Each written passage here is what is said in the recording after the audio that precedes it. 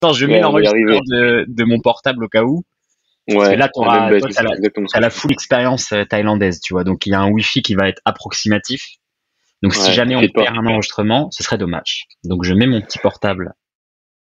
Voilà, à côté. Et puis après, on est bon. Hein. En vrai, c'est pas dérangeant. Je préfère avoir une expérience Wi-Fi approximative, mais être en Thaïlande, je pense. C'est plutôt pas mal là. En vrai, là, c'est la saison des pluies. Je vais pas te vendre du rêve. Il a plu, il a plu toute la journée. Donc c'est pas le meilleur, c'est pas le meilleur temps, tu vois. Mais j'ai un peu suivi là. T'en parlais dans un de tes derniers podcasts là, que tu allais repartir. Ouais. Tu m'en as fait part sur LinkedIn, donc euh, bah écoute, c'est cool. Ouais, ouais, ça fait du bien là. Ça, T'as lancé euh, l'enregistrement Ouais, ouais, mais après on peut. Euh, tu vois, l'idée c'est vraiment de, de, partir. Tu vois, moi j'ai quelques petites idées en tête, mais après. Après, on fait, on fait avec ce qu'il y a, tu vois. Mais d'ailleurs, comme point de départ, tu sais quoi, j'ai bien envie de te lancer sur, sur là ta journée ta journée ta journée intense là tu disais que tu revenais de l'entraînement et que il y avait des gens au bureau là tu, tu me vends du rêve on dirait la vie de de l'entrepreneur avec 10 000, choses dans la journée. Qu'est-ce qui se passe? Comment se passe une journée type? là, en fait si tu veux euh, euh, je suis au club au club des, des Phoenix Toulouse Handball et euh, j'étais avec deux joueurs ce matin euh, ensuite, là, entre midi et deux, là, il y a le centre de formation qui s'entraîne. Et nous, le groupe pro, là, ils sont partis à Rennes. On, joue ce soir. Parce qu'on a joué euh, à domicile, on a joué avant-hier contre le PSG.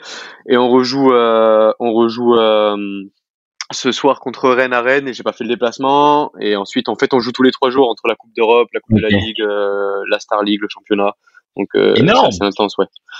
Énorme, énorme. Je savais pas que aussi C'est juste que j'enchaîne, quoi. Et toi, tu es préparateur ah physique de cette équipe? Ouais, exactement. Je suis préparateur physique là dans, au Phoenix Toulouse Handball et également sur, euh, sur des équipes professionnelles, que ce soit rugby ou handball, mais toujours dans les sports collectifs si tu veux. Tu vois, donc. Euh, ouais, qu'est-ce qui te plaît là dans les, dans les sports collectifs et pourquoi pas les, les sports individuels? Moi, ça a été mon expérience là, les sports individuels, mais j'aimerais bien, j'aimerais bien ton avis sur ce qui est différent, tu vois, d'occuper euh, un groupe par rapport à un athlète. Mm-hmm. Mais dis-toi que j'écoute énormément, enfin, je regarde énormément de, vidéos de reportages sur les sports indiv et j'écoute euh, souvent les, les mecs qui sortent des, des arts martiaux ou des cultures euh, plutôt asiatiques euh, ou d'Amérique du Sud. tu vois, toi, tu fais, si je dis pas de conneries, que je me rappelle bien, attends, parce que là, on n'est pas prêt. tu fais Jiu-Jitsu, MMA et tu fais un autre truc. C'est. Je fais plein de trucs, mais il y a Muay Thai dedans, il y a boxe anglaise dedans. Et, et tu fais l'aquapera. Capoeira aussi, ouais tu fais la ouais ok voilà. En gros sport collectif pourquoi? Parce que euh, j'ai toujours été là dedans j'ai toujours été là dedans euh, football rugby handball. Et euh, donc j'ai toujours eu on va dire cette cet esprit d'équipe de partage de cohésion de travail mmh. en en binôme ou en équipe ou ou en en groupe quoi si tu veux. Mais par contre il y a, y a un truc que j'ai fait c'est de, de mes 6 ans à mes 11 ans j'ai fait du judo et ça m'a énormément appris sur sur, on va dire, le calme, l'introspection, la, la, résilience, les valeurs, le respect, tu vois, et ça, c'est, c'est, dingue. Parce que je pense que si je n'avais fait que du sport co, j'aurais pas eu tout ça. Ah, c'est une belle, une belle combinaison. Euh, j'ai fait le même parcours, on va dire, commencer par sport collectif avec 11 euh, ans de foot. Et c'est après que j'ai eu, euh, j'ai découvert les, les sports, on va dire, individuels. Ouais, mais, Ouais, ouais, bah après la blessure au genou classique, tu vois, à 14 ans qui te, qui te sèche le, le rêve. tu connais. le classique. Mais euh, moi, ce qui m'intéresse, tu vois, je suis beaucoup euh, les préparateurs physiques aussi, tu vois, comme j'ai par le passé, j'ai beaucoup accompagné les athlètes euh, de CrossFit, de MMA, sport de combat. mais je me suis jamais intéressé vraiment au, à la préparation physique pour les sports collectifs. Et je pense que un peu naïvement, je me suis dit, ce que je sais faire avec un athlète, je pense que je pourrais le faire avec un groupe d'athlètes, ce qui doit être totalement faux euh, donc, est-ce que tu peux nous dire un peu les, les, les, les grosses différences entre gérer un groupe d'athlètes par rapport à gérer un seul individu? Parce qu'un seul individu, c'est c'est magnifique en fait. Tu vois, toutes les semaines, tu peux te dédier qu'à lui, tu peux suivre son niveau d'énergie, ses performances à lui et adapter au vraiment euh, à, au centimètre près la prépa, la nutrition. Mais le groupe, moi, je ne saurais pas te dire. En plus, les différentes positions, je pense qu'elles nécessitent différents peut-être systèmes d'énergie, différentes euh, préparations. Donc, qu'est-ce que tu peux nous dire là-dessus?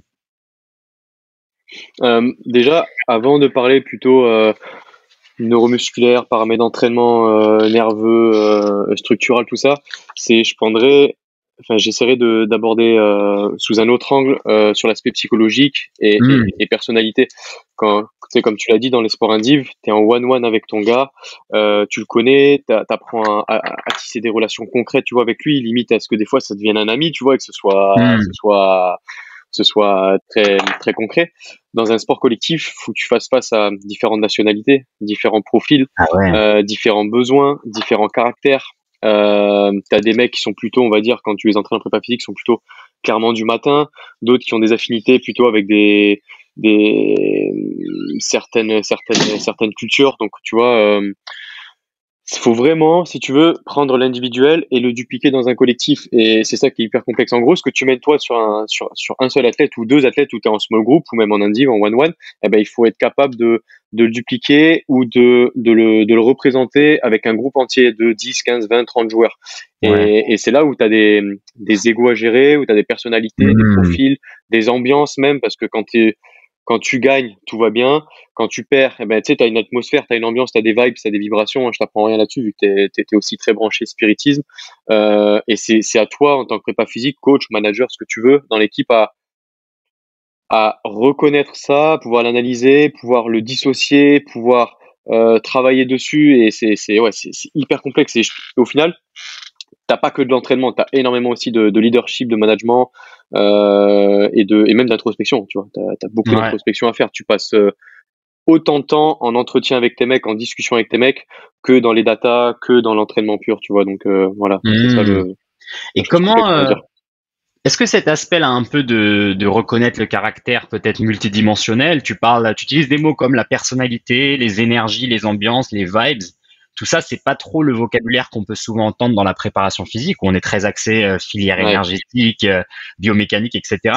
Est-ce que toi, c'est l'influence des arts martiaux avec le judo qui t'a peut-être fait euh, découvrir cet univers-là, ou quelles ont été tes influences pour mélanger un peu cet aspect peut-être intangible avec le côté vraiment concret dans le dur? Euh, bah déjà, moi, mes, mes gars, ou les athlètes que j'ai, rugby, euh, crossfit, handball, foot, des joueurs pro, Ligue 1, Ligue 2, Top 14, Pro D2, Star League, peu importe, même des, des, des, gens amateurs, en général, ils me prennent pour un fou. Sais, un peu comme toi, tu sais, on, est un peu marginal. Et toi, j'adore tes, podcasts parce que, tu vois, on est, on est très spiritisme mais on sait qu'il n'y a pas que la vie physique, tu vois. Et, mm-hmm. et, et, des fois, quand tu parles de ça avec des gars, tu vois, ils te prennent pour un grand taré, ou alors, t'en as qui, qui adhèrent à ça. Et, euh, et en gros, pour, euh, pour répondre à ta question, euh, comment, enfin, d'où ça me vient, on va dire, je pense que c'est plus les, les voyages euh, à l'étranger, c'est plus les rencontres, euh, les mmh. lectures, euh, les échanges avec les coachs, les entraîneurs qui, qui ont fait que j'ai, j'arrive, j'ai réussi, oui, à, à, mon échelle, mais je sais qu'il y a encore énormément de trucs à voir et à, et, et à comprendre et à connaître. Mais je pense que c'est tout ce, ce panel-là de nouvelles compétences, euh, de connaissances, d'expériences, de rencontres qui font que ben, euh, aujourd'hui, j'arrive à, à prendre du recul et à individualiser chaque personne. Si tu veux, je sais qu'il y, a, il y a hmm. des mecs qui vont préférer s'entraîner à telle heure, ils, ils vont avoir ces besoins-là. Ils vont euh, préférer s'entraîner avec tel type de mec. Et ils vont hmm. préférer euh, et avoir besoin de ce type d'entraînement à ce moment-là. Enfin, donc, il n'y a pas que, comme tu as dit, de la biomécanique, de la physio, de la planification, de la périodisation. Il faut vraiment pas oublier qu'à la base, c'est des humains, c'est des mecs. Et pas que euh, de la data, des numéros, euh, de la performance, tu vois. Donc, euh, Et je pense que ça, tu vois, ce côté euh, pas, pas, transcendantal, mais spirituel et, et, très humain, tu l'as, tu l'as moins dans les sports collectifs que dans les sports individuels. Absolument. Et je trouve que c'est hyper intéressant justement de, bah, de m'intéresser et de s'intéresser au sport individuel pour ça, tu vois. Ah, mais écoute, c'est trop bien ce que tu dis parce que je n'avais jamais pensé que ça aurait pu être le cas pour les sports collectifs. Euh, moi, ma seule, on va dire peut-être euh, référence sur euh, un coach qui va un peu implémenter cette, ce côté, voilà, comme tu dis, un peu métaphysique à un groupe d'athlètes. tu sais, c'est souvent les histoires qu'on entend dans le foot US. Je sais pas si tu suis un peu ce sport ou si tu l'aimes bien, mais moi, je kiffe le foot mhm, US. J'adore, bien sûr pour beaucoup de choses, pour la stratégie et même leur préparation physique, j'adore. Euh, et tu sais, tu as souvent des, des coachs qui sont connus pour euh, leur speech, leur discours, qui sont très euh, philosophiques en fait, que ce soit stoïcisme, bouddhisme, philosophie orientale. Euh, mais moi, j'avais pas pensé que euh, peut-être en France, on aurait cet aspect-là. Est-ce que tu dirais qu'on est pas en retard, pas en avance, mais à, quel point la philosophie d'entraînement en France d'un collectif, elle peut être différente de ce que tu as pu voir pendant tes voyages à l'étranger, notamment dans le monde euh, anglo-saxon? Hmm. Ben ouais, tu, fais bien de parler du monde anglo-saxon. Mais tu vois, dans le sport collectif pro, euh, là je parle du pro, mais ah, parce qu'amateur c'est un peu moins concerné. Tu sais, dans le monde amateur, c'est souvent ben, des gens qui sont français et t'as peu d'étrangers.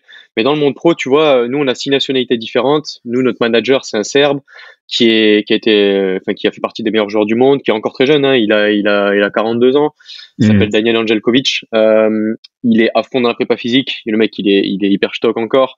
Euh, et au final, ben t'as pas ce, enfin il n'y a pas trop cette comparaison monde anglo-saxon, monde francophone, est-ce qu'on a du retard, est-ce qu'on n'a pas de retard, parce que vu qu'on a des nationalités, on a des Serbes, des Scandinaves, des Slaves, des Amériques, enfin des d'Amérique du Sud, euh, des mecs de l'Est, donc tu vois, tu as, vraiment un melting pot qui fait que ben, tu as vraiment cette culture d'entraînement euh, et de performance dans le monde pro, et euh, je pense pas qu'on est, euh, enfin qui a parlé de retard ou pas dans le monde anglo-saxon ou francophone, si on le dissocie, oui, tu vois, tu vas clairement voir des clubs de NBA comme euh, j'ai pu aller ou des clubs de hockey en NFL ou quoi, euh, en, en, NHL ou en NFL au, au, foot US. Là, ouais, tu as du retard si tu compares France et les pays. Ouais. Mais si tu compares au sein d'un groupe, vu que tu as plusieurs nationalités, hmm. ça se voit moins, tu vois, ça se voit beaucoup moins. Ok. Mais en fait, ça, tu vois, on a eu. Vas-y, vas-y. Non, non, vas-y, je t'en prie, je te laisse finir.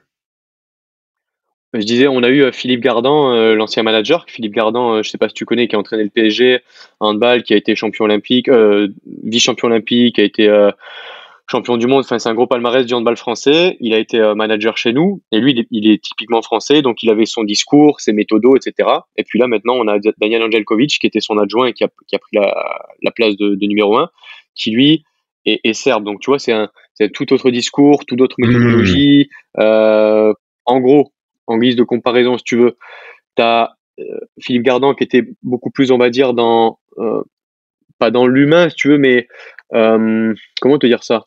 Il avait une approche beaucoup plus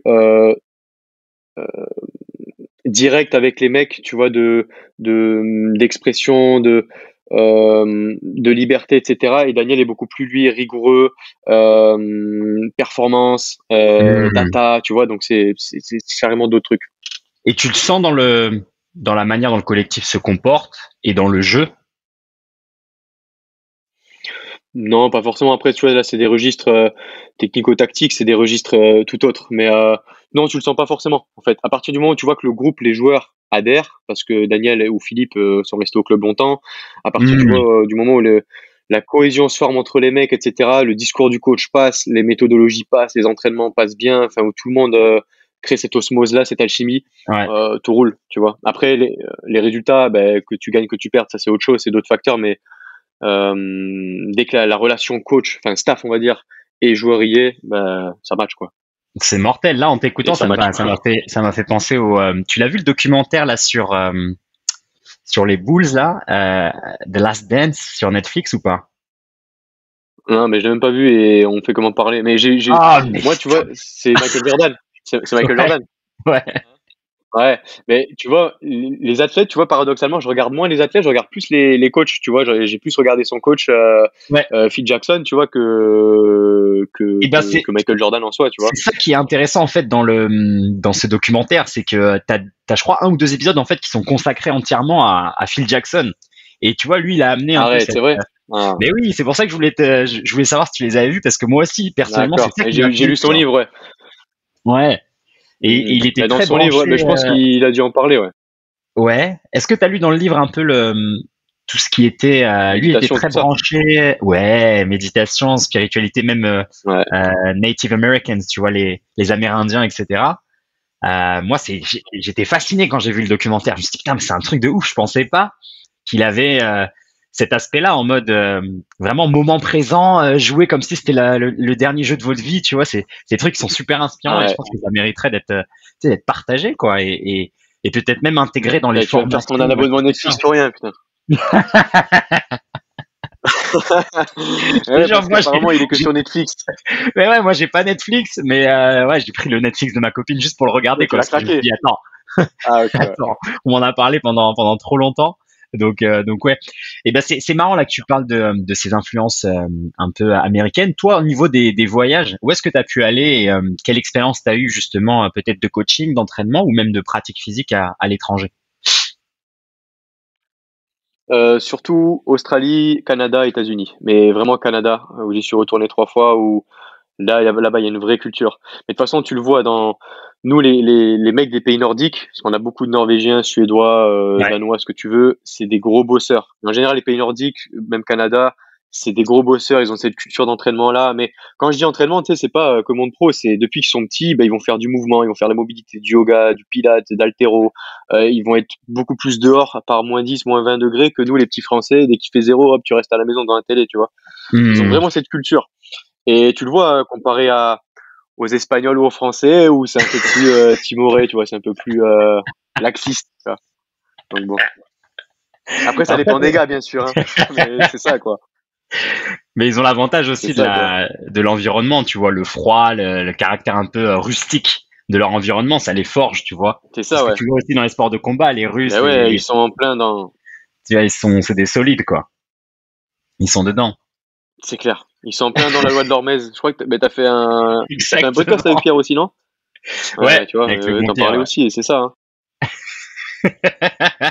Ah, Est-ce que c'est ce genre de, de principe que tu ajoutes toi un peu dans, dans, tes entraînements ou dans ce que tu dis aux gars? Est-ce que tu leur parles justement de loi de l'Hormèse? Tu les sensibilises peut-être aux jeunes, à l'exposition au froid et au chaud? Qu'est-ce que tu essayes d'ajouter euh, qui est pas dans les, dans les sentiers battus, on va dire? Alors, euh, tout ce qui est, on va dire, ben, tu vois, tout ce que tu as mentionné, c'est ce qu'on appelle, euh, ben, tu le connais, je t'apprends rien, l'entraînement invisible. Euh, tout ce qui est en dehors du club. Et ils ont bien conscience que tout ce qu'ils font en dehors du club, parce que nous, on passe énormément de temps dans les aéroports, dans les déplacements. Tu joues tous les 3-4 jours. Euh, tu vois, on a fait euh, les. On était en Suède, on est revenu jouer à Dunkerque, on est parti, on est parti à Berlin, on a joué à Rennes, on est revenu, on a joué contre Nantes chez nous, on est parti à Nîmes, on est parti à Plock en Pologne, et là on a joué Saint-Raphaël, on a joué PSG, là on est reparti à Rennes. Enfin, tu vois, ça c'est en, en 4-5 semaines. Mais ça, c'est nous en, handball, mais les clubs de rugby de Ligue 1, c'est pareil, mais c'est même pire, tu vois, c'est même pire. Donc, euh, hmm. euh, donc, pour revenir à ce que tu disais, l'entraînement invisible, donc tout ce qui est euh, l'immersion au froid, le froid, le chaud, les contrastes, etc. Ils ont tous des protocoles, tout est affiché dans les vestiaires, ils connaissent les bienfaits, ils savent pourquoi et c'est obligatoire. Mais tu vois, les mecs qui sont du nord, tu leur mets des bains 7, 8, 9 degrés, ils y vont, ils font des 2, 3, 4, 5 minutes, alors que tu leur dis des fois de faire du 1 fois 1 en contraste ou du 2 fois 2 en contraste, mais eux ils vont rester 4, 5, 6 minutes sans problème. Et ben paradoxalement, les, les, mecs des pays du sud ou les, les, Français, c'est un peu, c'est différent. Mmh. Euh, ils sont également, tu vois, on parlait énormément d'alimentation, de micronutrition, euh, de ce qu'on appelle super aliments. Euh, de spiritualité. Après, pas trop avec des mots complexes, tu vois. Si, loi de l'hormèse, tu vois, je l'utilise pas. Euh, on essaie vraiment de garder des mots simples quand même pour pas que ça parte dans des, dans des gros délires, quoi. Mais, mais ouais, ouais, ils sont, ils sont, ils sont sensibles à ça, ouais. C'est clair, faut savoir à qui tu t'adresses. Exactement. Tu vois, regarde, tu, tu, prends, tu prends un exemple, je sais pas, tu vas faire des mouvements, tu vois, tu prends Ido Portal, tu vois, je sais que tu es un grand fan, euh, tu as des mouvements, que ce soit euh, les marches animales qui existent depuis des années, mais qui sont, qui sont un peu à la mode depuis 3-4 ans. Ouais. Euh, au début, tu vas peut-être proposer à des mecs d'apprendre de, d'apprendre à marcher ou à te déplacer ou à se mouvoir comme des animaux, avec beaucoup d'aisance, de, fluidité, de relâchement. Mais au début, tu en as certains, ils vont te prendre pour un fou, tu vois. Qu'est-ce que ça va mmh. apporter, tout ça? Et puis d'autres qui vont complètement comprendre tout de suite et qui vont adhérer. Et puis au final, si tu en as un, deux, trois, quatre, cinq qui adhèrent, ben, au final, après, tout le monde un peu adhère et, et comprend et il met du sens, tu vois. C'est ça qui est important.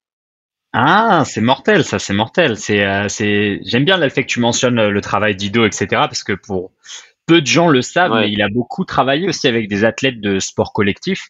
Et, euh, et bah pas que lui, hein, mais certains de ses maîtres. Je pense à, à, Joseph de, de Fighting Monkey, peut-être tu connais. Il a beaucoup. Euh, non, j'ai pas, j'ai pas cette compétence là-dedans, non, non. Mais je me renseigne, mais je, je suis pas clairement là-dedans, quoi.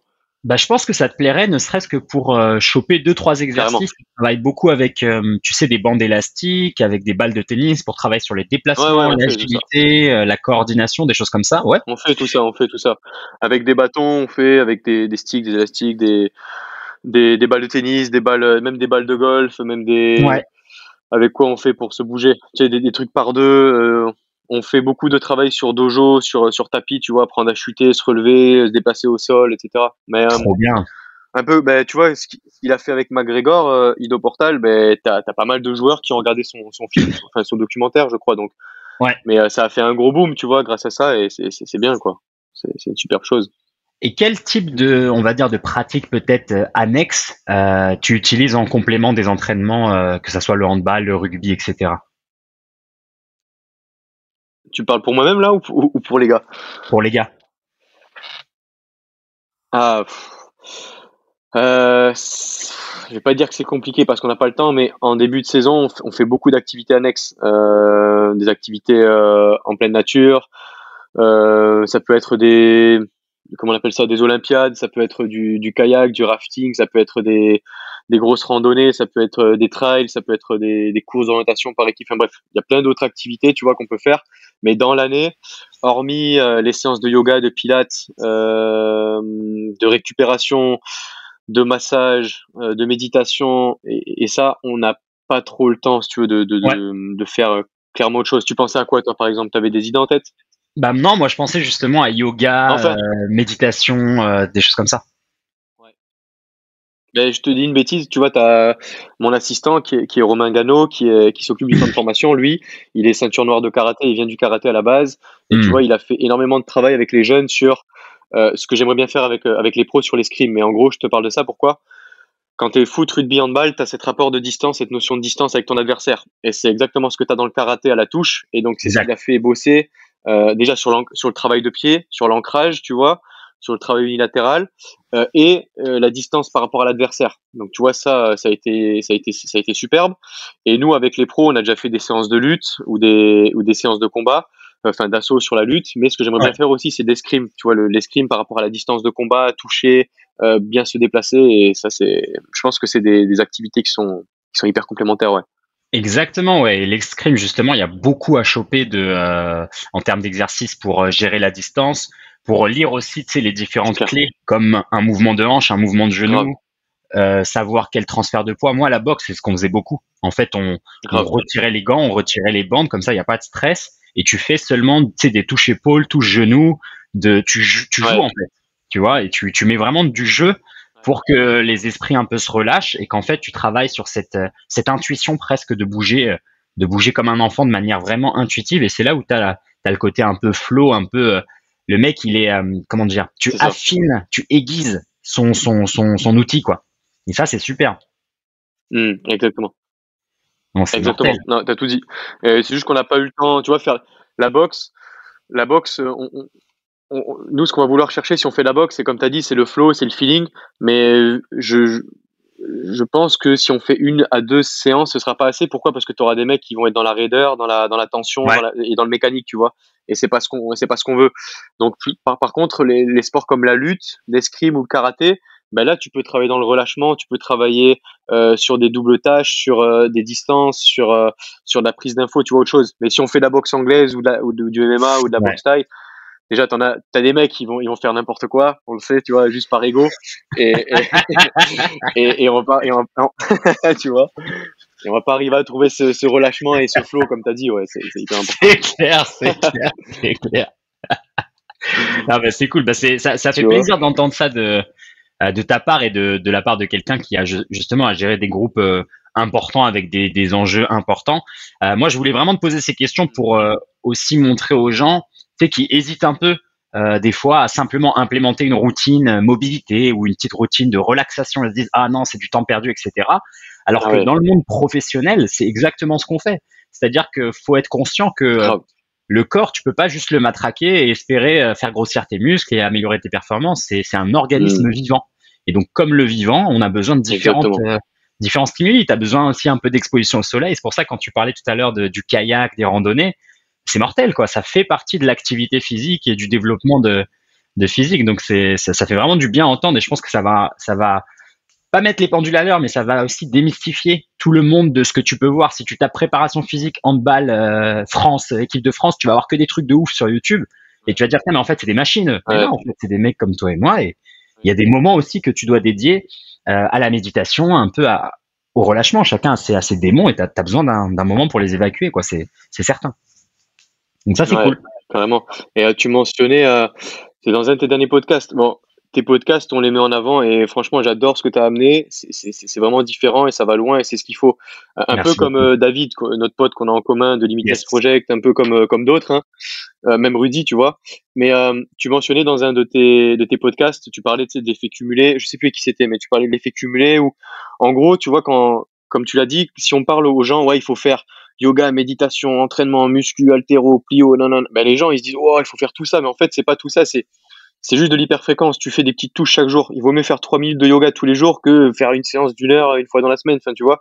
Juste un peu bouger, comme tu l'as dit euh, dans un de tes podcasts, un peu tous les jours, méditation un peu tous les jours et, installer des routines, des habitudes, des, des process, quoi. Exactement. Et après, ça, ça devient mécanique. Tu penses même plus. Tu vois. Et ça, c'est hyper important. Et un truc que tu que tu mentionnes aussi dans tes dans tes podcasts et ce que tu parles, c'est euh, et ce que nous enfin ce que moi j'essaie de faire parler aux gars, c'est que la vie c'est le mouvement et tu prends l'exemple d'une rivière, une rivière elle est tout le temps en mouvement, elle est puissante, elle est en mouvement, elle est fluide, il n'y a pas de déchets dedans. Par contre, tu prends un lac où, euh, enfin, je vais pas dire tiens un cul-de-sac, euh, un cul-de-sac d'eau très calme, mais c'est là où tu as les marécages, où tu as tous les déchets, où tu as tout qui s'entasse. Et voilà. Et pourquoi? Parce que c'est immobile, parce que ça bouge pas, parce que voilà, ton corps bouge pas. Et c'est exactement pareil pour le corps. Dès qu'il bouge pas, il s'encrasse et la machine, elle, euh, elle ralentit quoi, tu vois. Et, c'est exactement ça. C'est exactement ça. Bah c'est super là, ça fait la transition parfaite parce que tu parles euh, du podcast, mais les gens ne savent pas, ne savent pas que tu es euh, que tu es l'auteur de, de, la plateforme. Parle-nous euh, un peu de, de, de ce projet là parce que ça s'inscrit où dans dans dans tout ce que tu fais. on imagine qu'à t'entendre, bah c'est bon en fait, ta vie elle est blindée quoi, t'es trop occupé etc mais il y a quand même nos minutes. Est-ce que tu peux présenter aux gens rapidement comment la genèse de ce projet? Parce que moi, c'est ça qui m'intéresse. Et puis, euh, ça va faire le parallèle aussi avec ce que tu disais sur un peu la partie énergie, développement personnel, etc. Exactement. Mais déjà pour répondre à ta première accroche, là, ce que tu disais, nos minutes maintenant, c'est la priorité. Euh, c'est passé en prioritaire dans ma vie, euh, alors que ça n'était pas forcément au début. Enfin, ça l'était, mais il n'y avait pas toutes les ressources pour. Maintenant, euh, c'est clairement en train de se développer et euh, c'est ce dont on va, on, va aborder ici. Mais euh, c'est passé prioritaire, ouais, euh, bien plus que devant les clubs, les athlètes avec qui je travaille, enfin bien plus. J'aime pas dire ça, tu vois, mais c'est quand même prioritaire parce que ça demande beaucoup plus de ressources de travail maintenant. mais, voilà. en gros, la genèse, ben je sais pas pour toi, mais de ce que, j'entends, tu as beaucoup voyagé, etc. Euh, me concernant, je suis parti de chez moi, j'avais 15 ans et j'ai commencé à vivre seul du coup pour le sport de haut niveau, le foot, hein, vu que j'étais en centre de formation à, partir de mes 15 ans. Et tu as le choix, enfin tu as le choix, tu as plusieurs options qui s'offrent à toi, c'est bien, tu sais, tu grandis en tant qu'ado euh, classique, etc. Ou commencer à te poser des questions existentielles, à travailler sur ton introspection, à travailler sur, euh, bah, sur ta propre personne, tu vois, qui tu es, qu'est-ce que tu aimes, qui tu veux être, où est-ce que tu veux aller, qu'est-ce que tu n'aimes pas, euh, quel est ton entourage, enfin bref, il y a, plein de choses. Tu commences à t'intéresser à la nutrition parce que vu que c'est toi qui cuisines petit à petit, quand t'es pas au centre ou que tu as ton appart, ben, tu cuisines, donc tu te poses des questions sur ce que tu manges, tu apprends à lire des étiquettes, tu apprends à, à te sortir un peu des supermarchés. Euh, après, tu as l'entraînement physique, tu vois, tu commences à t'inscrire à ta première salle de muscu. Ben, je me suis inscrit quand j'avais 16-17 ans. Ben, tu découvres, hein, tu, fais, tu, fais, tu fais plein d'erreurs, tu découvres, tu apprends, tu commences à lire. Et tu vois, au final, ben, depuis dix ans, eh ben, ce, ce courant-là sur l'entraînement, le sport, la performance, la diététique, la santé, la croissance personnelle, le leadership, ben, j'ai accumulé beaucoup de d'expériences, de compétences, j'ai pu voyager, de rencontres et tout. Et en 2000, euh, 2018, je me suis dit comment est-ce que je peux faire profiter un maximum de monde en un minimum de temps de tout ce que j'ai en fait sur mon ordi ou dans ma tête? Et je me suis dit, bien après un voyage au Canada en 2018, je me suis dit, waouh, il y a YouTube, c'est indétrônable, c'est la vidéo. Euh, Instagram, c'est la photo, c'est l'image, c'est le visuel. Il faut faire un truc avec l'audio. Et donc je me suis dit, boum, podcast sur toutes ces thématiques-là, dans le but d'être, enfin, dans le but de proposer quelque chose qui va permettre aux gens d'être une meilleure version d'eux-mêmes chaque jour, euh, mmh. better than yesterday and less than tomorrow. Et sur la croissance et le dev perso en général, tu vois. Et donc sur, sur les thématiques, aujourd'hui, on propose sur une minute. Et c'est parti de là. Tu vois, c'est parti de là. Donc euh, commencer à contacter des devs, des développeurs, euh, avocats, comptables, euh, monter l'entreprise, euh, m'affilier avec des collaborateurs, services opérationnels, euh, community manager, enfin bref. Et puis ça grossit, ça grossit, c'est lancé. Et puis, puis voilà, il y a, y, a, y a, la vision. Je sais où je veux aller dans, dans 5, 10 ans, 15 ans pour nos minutes. Mais après, tu as le financier, tu vois. J'ai investi 150 000 euros de, de mes fonds propres, de tout ce que j'avais épargné ou investi. Donc c'est un énorme risque. Euh, comme le dit Grant Cardone ou Jim ou Jim Rohn, j'ai fait tapis. Et puis après maintenant, tu ah. commences à avoir des investisseurs qui entrent, des associés, des, des, subventions de la région, de la BPI, de plein de trucs. Enfin voilà. Et donc ça prend forme petit à petit, quoi. Mais voilà. Voilà en gros. C'est mortel. Est-ce que tu peux nous, nous, partager un peu la vision justement? Où est-ce que tu aimerais, aimerais, aller avec nos minutes et, et peut-être même un peu plus précisément en quoi tu penses euh, peut-être être innovant par rapport aux autres plateformes de podcast, euh, tu sais, les géants comme les Spotify, Apple Podcast, etc. Ouais. Ok, c'est deux très bonnes questions. Euh, dans la vision, premièrement, c'est d'être la bibliothèque audio hmm. sur la croissance et la progression personnelle. En gros, toute personne qui souhaite développer ses compétences ses connaissances, euh, ses expériences, son expertise à tout ce qui touche être un meilleur humain, être une meilleure personne, euh, sport, performance, diététique, santé, croissance, leadership. Euh, dans ces thématiques-là, eh bien, elle est nos minutes en référence. Tu vois, et pas YouTube, Instagram, Snapchat, TikTok et tout, parce que YouTube, il y a de très bons contenus, mais c'est minime, tu vois. Et pourtant, c'est le mastodonte. Hein, c'est le deuxième. Euh, je t'apprends, je t'apprends pas ça. c'est le deuxième site après Google le, plus, le plus, le plus, euh, le plus recherché. Euh, Snapchat, ben, ça, ça cible, mais c'est du divertissement. TikTok, c'est du divertissement, mais qui tend de plus en plus à. T'as de plus en plus de mecs sur, sur TikTok qui essaient d'amener du contenu qualitatif, soit par l'entraînement physique, soit par l'investissement financier, même les crypto-monnaies, etc. Euh, Instagram, ben, pareil, tu as, énormément de monde, tu as un milliard d'utilisateurs, mais tu as beaucoup de, de blabla, de visuels, de, de fake, de. Enfin voilà, enfin, c'est voilà. Et nous, on veut vraiment faire passer ça par l'audio parce que, un, le podcast c'est en vogue et que dans cinq ans, ça aura, je pense, ça aura rattrapé la vidéo. Euh, et deux, parce que on veut vraiment euh, du qualitatif, du contenu de qualité et, euh, et, et, une expérience utilisateur au top. Quoi. Donc ça, c'est pour la vision, c'est être les premiers, la première plateforme de podcast et euh, de connaissances et de compétences là-dedans. Et après, euh, pour te répondre, tu me demandais ta seconde question. Euh, merde, j'ai oublié ta seconde question. Un peu l'élément différenciant euh, ta seconde par rapport à Spotify Podcast. Oui, et ouais, par rapport au, ouais. ouais. Ben, Apple Podcast, Spotify, euh, euh, Deezer, etc. C'est des mastodontes et on va, va pas, même Amazon qui s'est lancé dans le podcast là avec 300 millions de dollars déversés là-dedans, on va pas lutter contre eux justement. Eux, c'est des plateformes, c'est des plateformes généralistes, tu veux, des plateformes généralistes où elles ont tout, elles ont tout et tout le monde. Et nous, on veut créer une niche, mais sans créer une niche. Je te prends l'exemple hmm. de euh, croissance leadership, vu que toi, tu, tu as tes podcasts qui sont là-dedans. Mais dans croissance leadership, on a éducation financière, leadership, management, psychologie humaine, euh, spiritualité, histoire du sport. Enfin voilà, on a plein de thématiques qui traitent à la croissance et au dev perso. Ouais. Et donc nous on veut vraiment créer une niche, une niche de qualité, mais en touchant un maximum de personnes et, euh, mm-hmm. et, sortir un peu de, de, Spotify, Apple et tout parce que eux ils proposent ben, des podcasts sur l'art, l'éducation, euh, ouais. euh, je sais pas moi, l'écologie, enfin des, des, trucs tu vois qui sont euh, qui sont euh, qui sont non pas banales mais qui sont euh, généralistes si tu veux. Ouais. Et voilà. Et comme ça, une personne qui veut qui veut trouver le contenu qu'elle a besoin, qu'elle qu'elle aime, qui sont ses goûts, qui sait que ça va lui apporter du contenu de, de, de, haute qualité et de haute valeur ajoutée, eh bien, elle est nos minutes en tête. Voilà. Ah bah écoute, c'est mortel, c'est ça. C'est comme bah, ça qu'on veut se démarquer, quoi.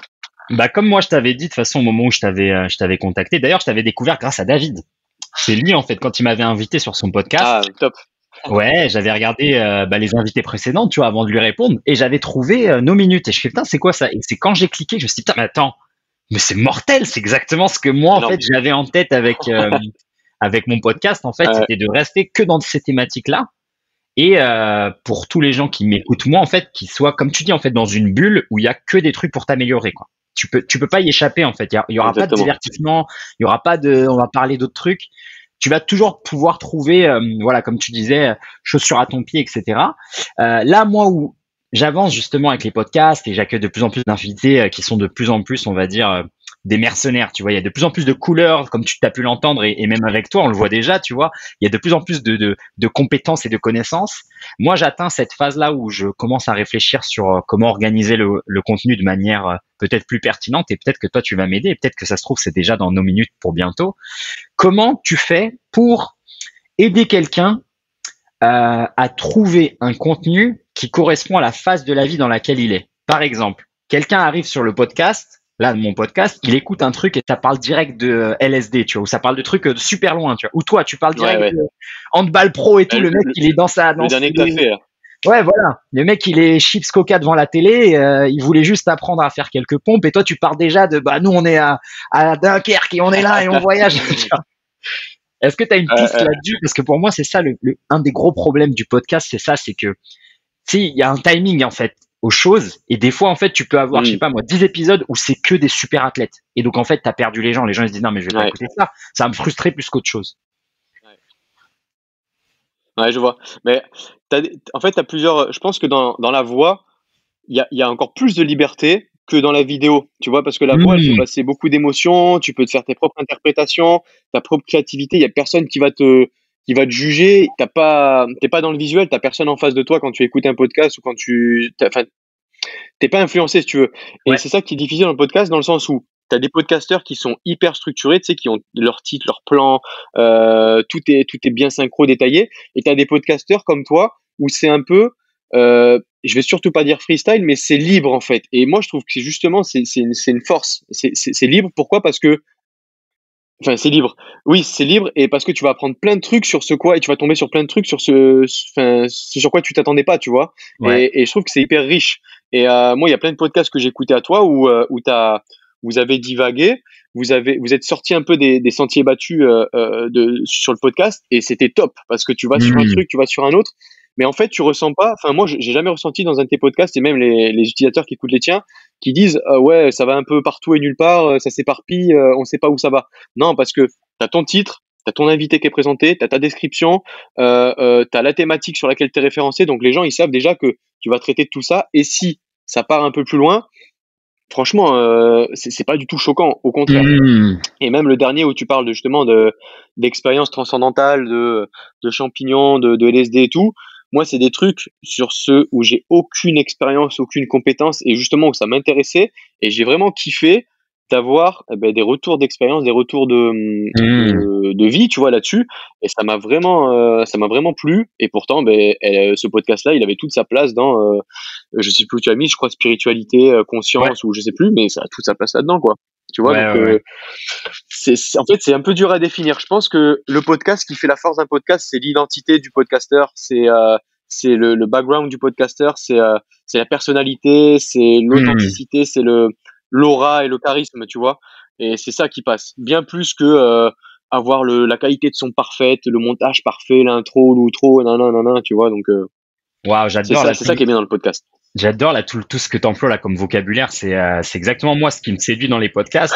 et toi justement, est-ce que tu as des influences en fait? Pourquoi tu as pensé au podcast comme ta solution? J'ai bien compris avec l'audio, mais quelles sont en fait toi tes influences en termes de podcast? Qu'est-ce que tu écoutes et qu'est-ce qui a pu un peu te t'orienter vers euh, ah bah en fait c'est ça qu'il faut en fait parce que c'est beaucoup plus puissant? Tu vas être choqué, je pense, parce que y a, j'en discute avec, avec euh, enfin, plusieurs personnes m'ont déjà posé la question, mais, mais ça revient pas souvent. Avant de lancer nos minutes, euh, donc tout ce qui est, on va dire, la vision du projet, les, contenus, les thématiques, nos minutes, j'avais tout ça. Tout ce qui est podcast, audio, créer une app, une plateforme euh, et, et, et, tout ça, zéro compétence et je savais, je connaissais rien du tout un podcast, j'en avais, je pense, hein, j'avais dû en écouter trois ou quatre avant de lancer minutes.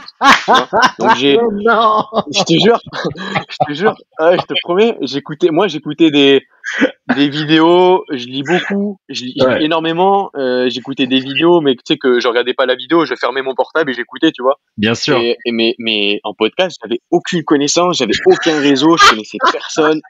tu vois, c'est dingue, hein c'est dingue. Hein J'adore. Et c'est ça qui est beau, je trouve. Ouais. Et, euh, et donc, euh, non, non, j'ai pas de référence. Tu vois, les... j'apprends plus euh, du réseau dans le monde du podcast en étant avec Instagram et, et, du fait que deux minutes se fassent connaître, en étant invité à des salons, en étant invité à Paris, en, discutant avec les, les, les, fondateurs CEO de Spotify France, Deezer, Castbox et tout, ou, ou des podcasteurs, tu vois, reconnus comme Ben Never ou comme Samantha, je sais plus, enfin bref, il y a plein de trucs, mais j'avais aucune connaissance ou réseau là-dedans à la base. Euh, c'est juste que le, format audio, il m'est venu au Canada quand j'avais euh, vu plusieurs studios d'enregistrement de podcasts, que je voyais qu'il y avait des pubs dans la rue, c'était que de l'audio.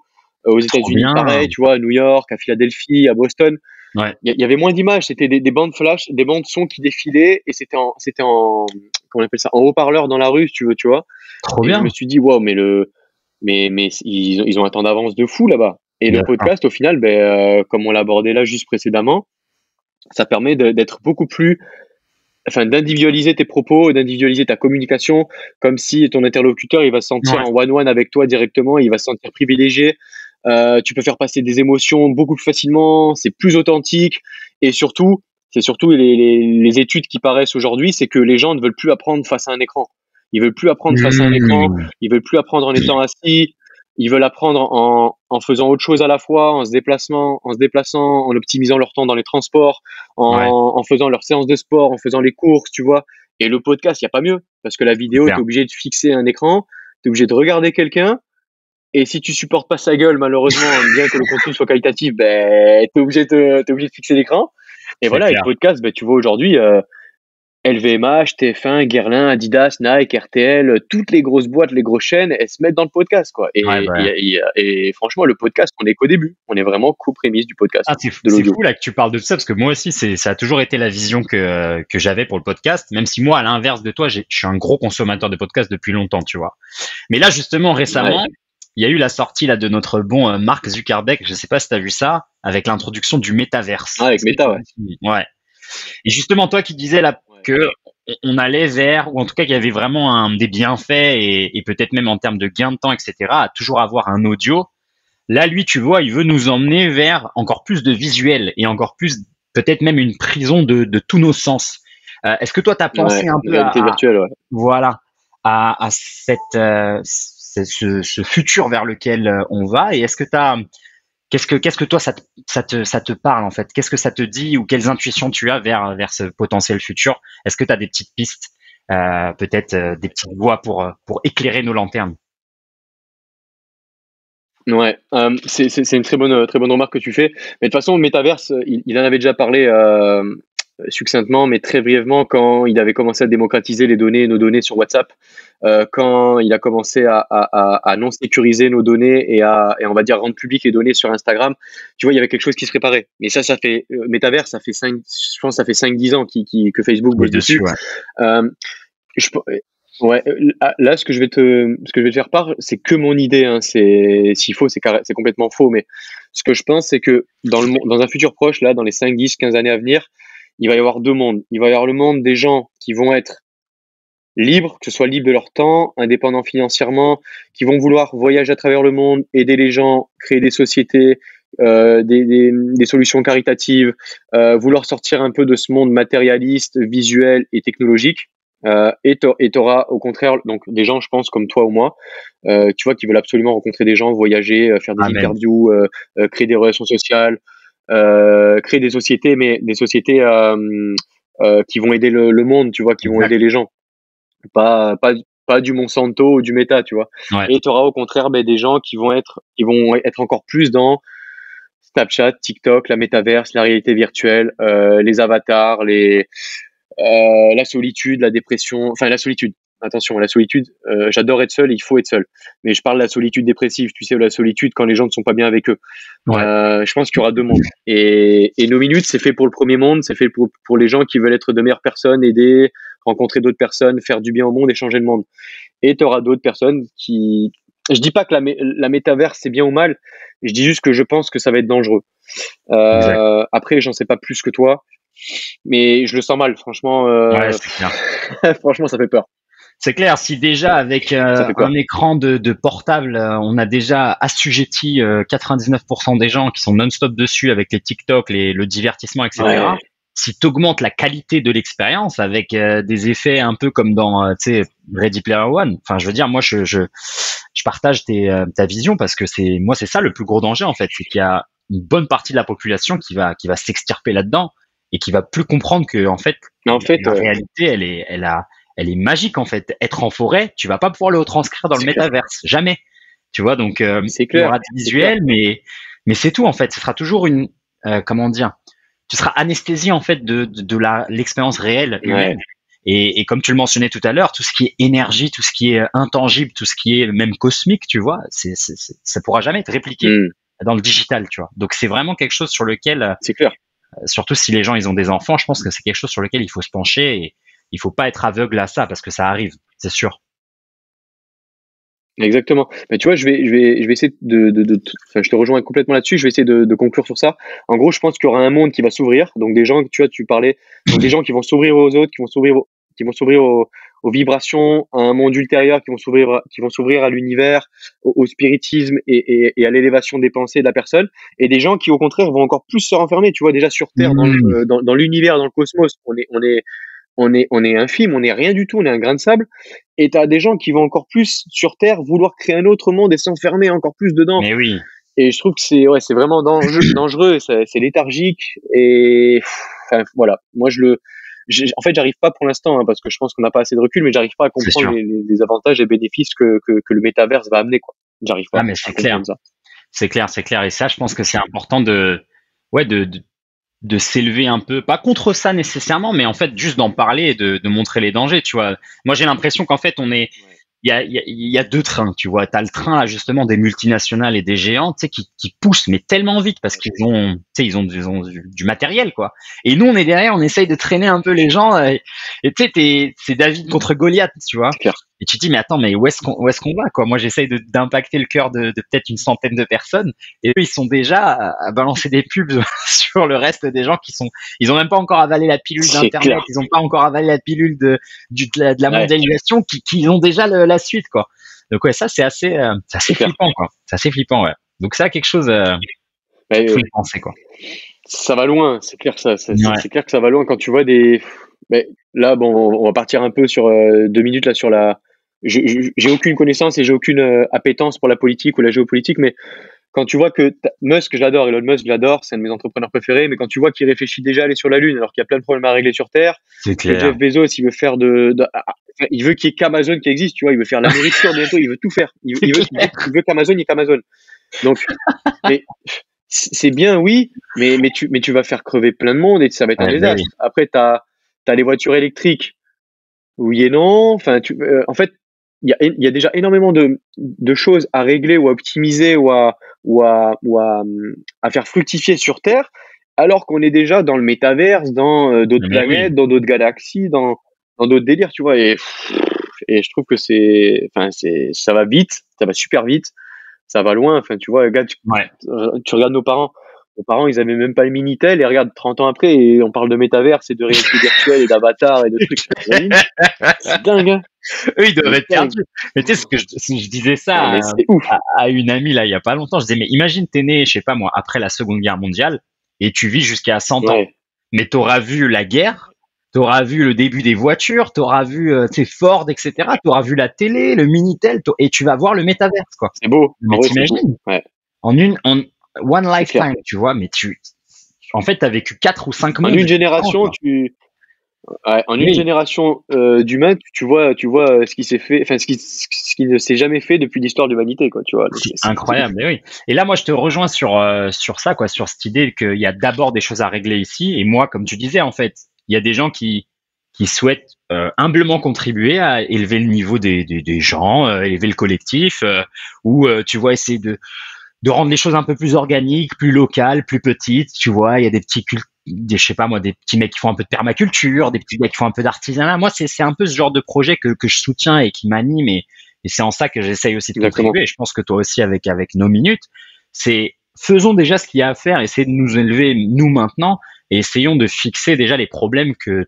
toutes ces avancées nous ont déjà causés elles ont apporté énormément de bonnes choses, mais il y a plein de choses. Tu vois, quand tu vois le, je sais pas moi, le taux de suicide, le taux de dépressif chez les 17 ans, mais mec, moi, quand j'avais 15 ans, je pensais à tout sauf être dépressif, quoi. Je pensais à plein de bonnes choses positives. Je me dis comment il y en a qui sont et on est on est on était dans la même classe et là j'apprends que le mec s'est suicidé, le mec il est là. Enfin, occupons-nous de, de ça, je pense, et, et c'est pour ça que ouais le podcast, là le le dev perso aussi, je pense que c'est une bonne euh, une bonne chose qu'il y ait un peu cette tendance maintenant, même s'il y a, y a plein de mots qui sont bafoués, mais au moins les gens ils savent un peu, euh, ils ont déjà entendu quelqu'un dire le mot développement personnel, tu vois, ou même peut-être même spiritualité. Ça ressort de plus en plus dans les conversations et je pense que déjà ça c'est des petites victoires euh, qui vont faire avancer les choses euh, vers du positif. C'est certain. Exactement, exactement. Et pour continuer sur ce que tu dis, il y a un mot. Enfin, je pense que tu vois, on parlait des demandes. Là, ça fait quelques minutes qu'on parle de demandes. mais je pense qu'il y aura le monde des conscients et le monde des, des pas des inconscients, j'aime pas ce mot-là, mais des gens qui prennent la vague parce qu'ils sont perdus et ils sont emportés. Tu vois, ils sont emportés dans la technologie, euh, dans la technologie de pointe, dans la techno, dans, dans les robots, dans, dans le métaverse, dans les trucs virtuels, dans, enfin bref, un, bordel sans, sans, fin. Et, euh, et dans le premier monde, c'est les, les gens conscients, les gens qui ont, je, c'est pas qu'ils sont plus intelligents, c'est juste qu'ils ont pris conscience ben, de, de vouloir développer leur leur propre personne, de remplir leur propre bouteille, enfin leur bouteille à eux pour remplir le verre d'autrui, si tu veux. Et euh, et comme tu l'as dit, de euh, de faire du bien à leur petite échelle, tu vois. De, tu parlais de permaculture, tu parlais d'éducation, tu parlais de dev perso. Euh, c'est ça en fait, c'est être, être, un meilleur humain, une meilleure personne, et tout en ayant des ambitions. Tu vois, ça veut pas dire de rester petit, attention. Hein. C'est, mais toujours de s'élever, toujours de progresser, toujours les 1% par jour, toujours. Enfin voilà. Et je pense que ouais, on va on va on va arriver à ça de plus en plus. Hein. Absolument, absolument. Et toi justement dans ces idées un peu là, tu mentionnes plein de plein de philosophies, plein de termes qu'on a, qu'on a beaucoup abordé dans le podcast, hein, que ce soit le Kaizen, le dev perso, etc. Toi, quelles ont été tes influences? Tu disais que tu lisais beaucoup. Est-ce qu'il y a des auteurs ou des, ou des, des gens qui t'inspirent, autres que le bon Elon Musk, mais peut-être des modèles à suivre que tu as pu trouver qui ont pu euh, un peu, euh, voilà, peut-être euh, commencer une petite voie vers laquelle toi, tu aimerais bien t'orienter tu vois, moi, j'ai toujours un peu mes petites inspirations comme les Tim Ferriss, les mecs comme ça qui ont toujours promu le minimalisme, le, le côté digital, le côté one-man company, le côté liberté.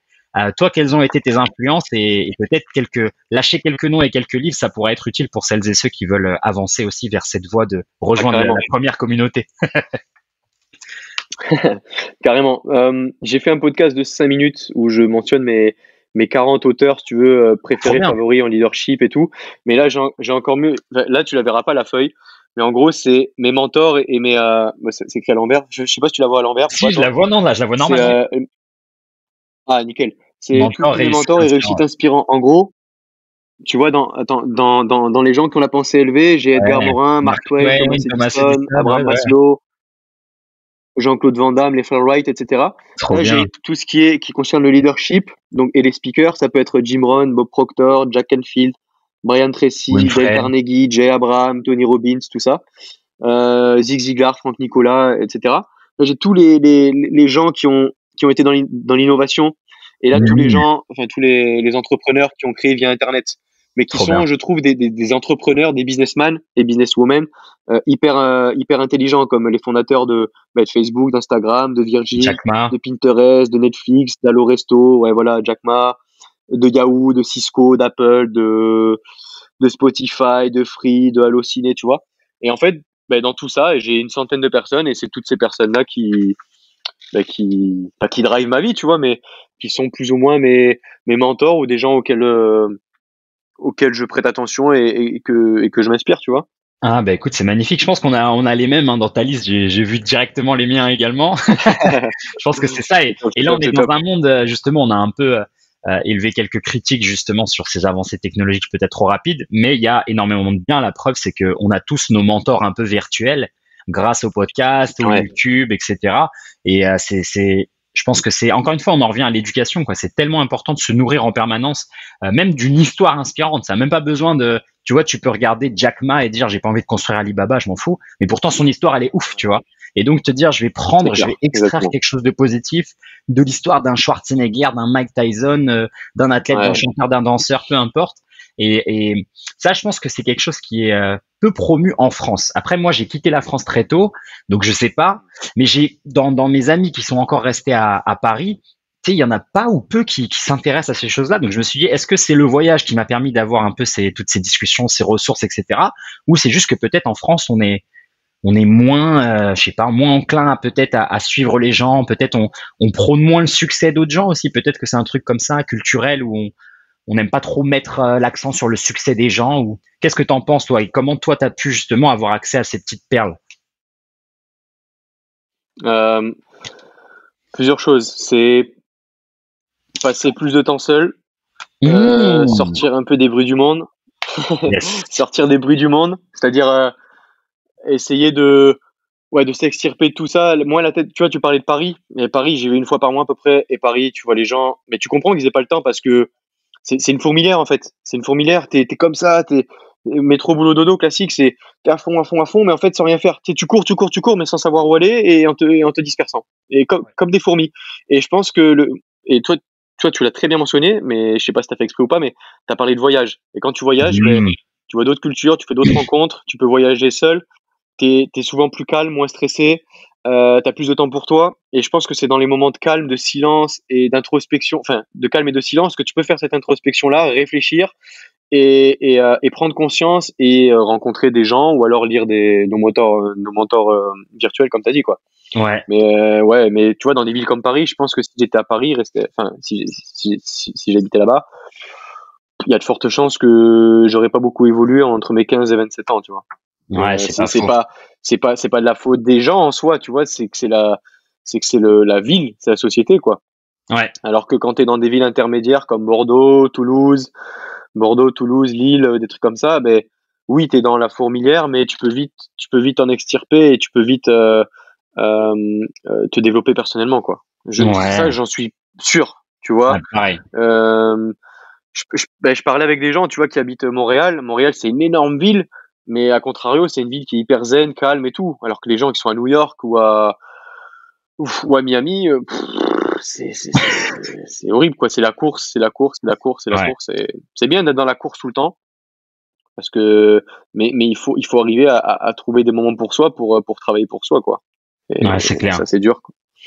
Absolument, absolument. Je pense que c'est malheureusement quelque chose qui fait peur aux gens. Tu vois, moi j'ai beaucoup d'échanges par email, etc. J'ai des gens qui sont dans cette phase-là où ils se disent, ils comprennent bien que euh, et même là avec le podcast, en fait, tout le monde, on est tous le produit de ça. En fait, c'est parce qu'on on dédie du temps à être seul qu'on se pose des questions. Mais on est, on est tous humains. Si tu restes à Paris, dans une ville où la densité de population elle est monstre, elle est, elle est plus importante que Tokyo. Tu vois, moi j'ai vécu trois ans à Tokyo. À Paris, t'es beaucoup plus, ouais, ah beaucoup ah plus, c'est beaucoup plus dense, tu vois. Parce que Paris, c'est tellement petit. Genre Tokyo, ah c'est 20 fois la taille de Paris, tu vois. Donc, même si tu habites à Tokyo et qu'il y a plein de monde, il y a des quartiers entiers où il y a rien, quoi. Tu vois, parce que la taille, elle est énorme. Euh, mais à Paris, c'est tellement petit que c'est exactement ce qu'elle dit. C'est une fourmilière. On est, on est, on est tous les uns sur les autres, tu vois. Il y a trop de gens pour la place qu'il y a. Et en fait, ça, ça, ça crée ces, ces anxiétés. Ce, tu suffoques en fait. Tu vois, si t'es pas sur les toits de Paris, tu vas suffoquer. Paris, c'est autre chose, mais mais la rue, c'est c'est pas possible. donc euh, donc ouais, il y a beaucoup de gens qui sont un peu dans ah cette phase-là et qui, euh, qui savent que en fait c'est la solitude qui va peut-être leur amener des, en tout cas de meilleures questions. Euh, toi, est-ce que tu dédies du temps peut-être dans ta journée ou dans ta semaine à justement retrouver ces moments de calme et comme tu le disais, où t'enlèves le bruit? Qu'est-ce que tu peux utiliser toi comme outil? Ouais, carrément. Mais ça, tu l'abordes souvent dans tes podcasts aussi. Je l'ai abordé dans plusieurs de mes podcasts aussi. C'est euh, les, routines matinales et les routines, euh, les routines du soir. Après, quand tu as une copine mmh. ou quand tu es en couple, c'est plus compliqué à agencer. Là, je suis célibataire depuis un mois et demi euh, de moi. Donc, tu vois, j'ai réussi à retrouver du temps. Mais après, même quand tu, quand tu crées des relations euh, longues et sérieuses, tu vis, tu vis avec ta conjointe ou, ta, ou, ta, ton conjoint, c'est, plus dur à agencer, à amorcer. Mais, euh, mais tu arrives quand même à le faire. Mais en gros, c'est d'avoir du temps euh, le matin très tôt. Tu vois, tu, bah, tu détaillais ta routine matinale.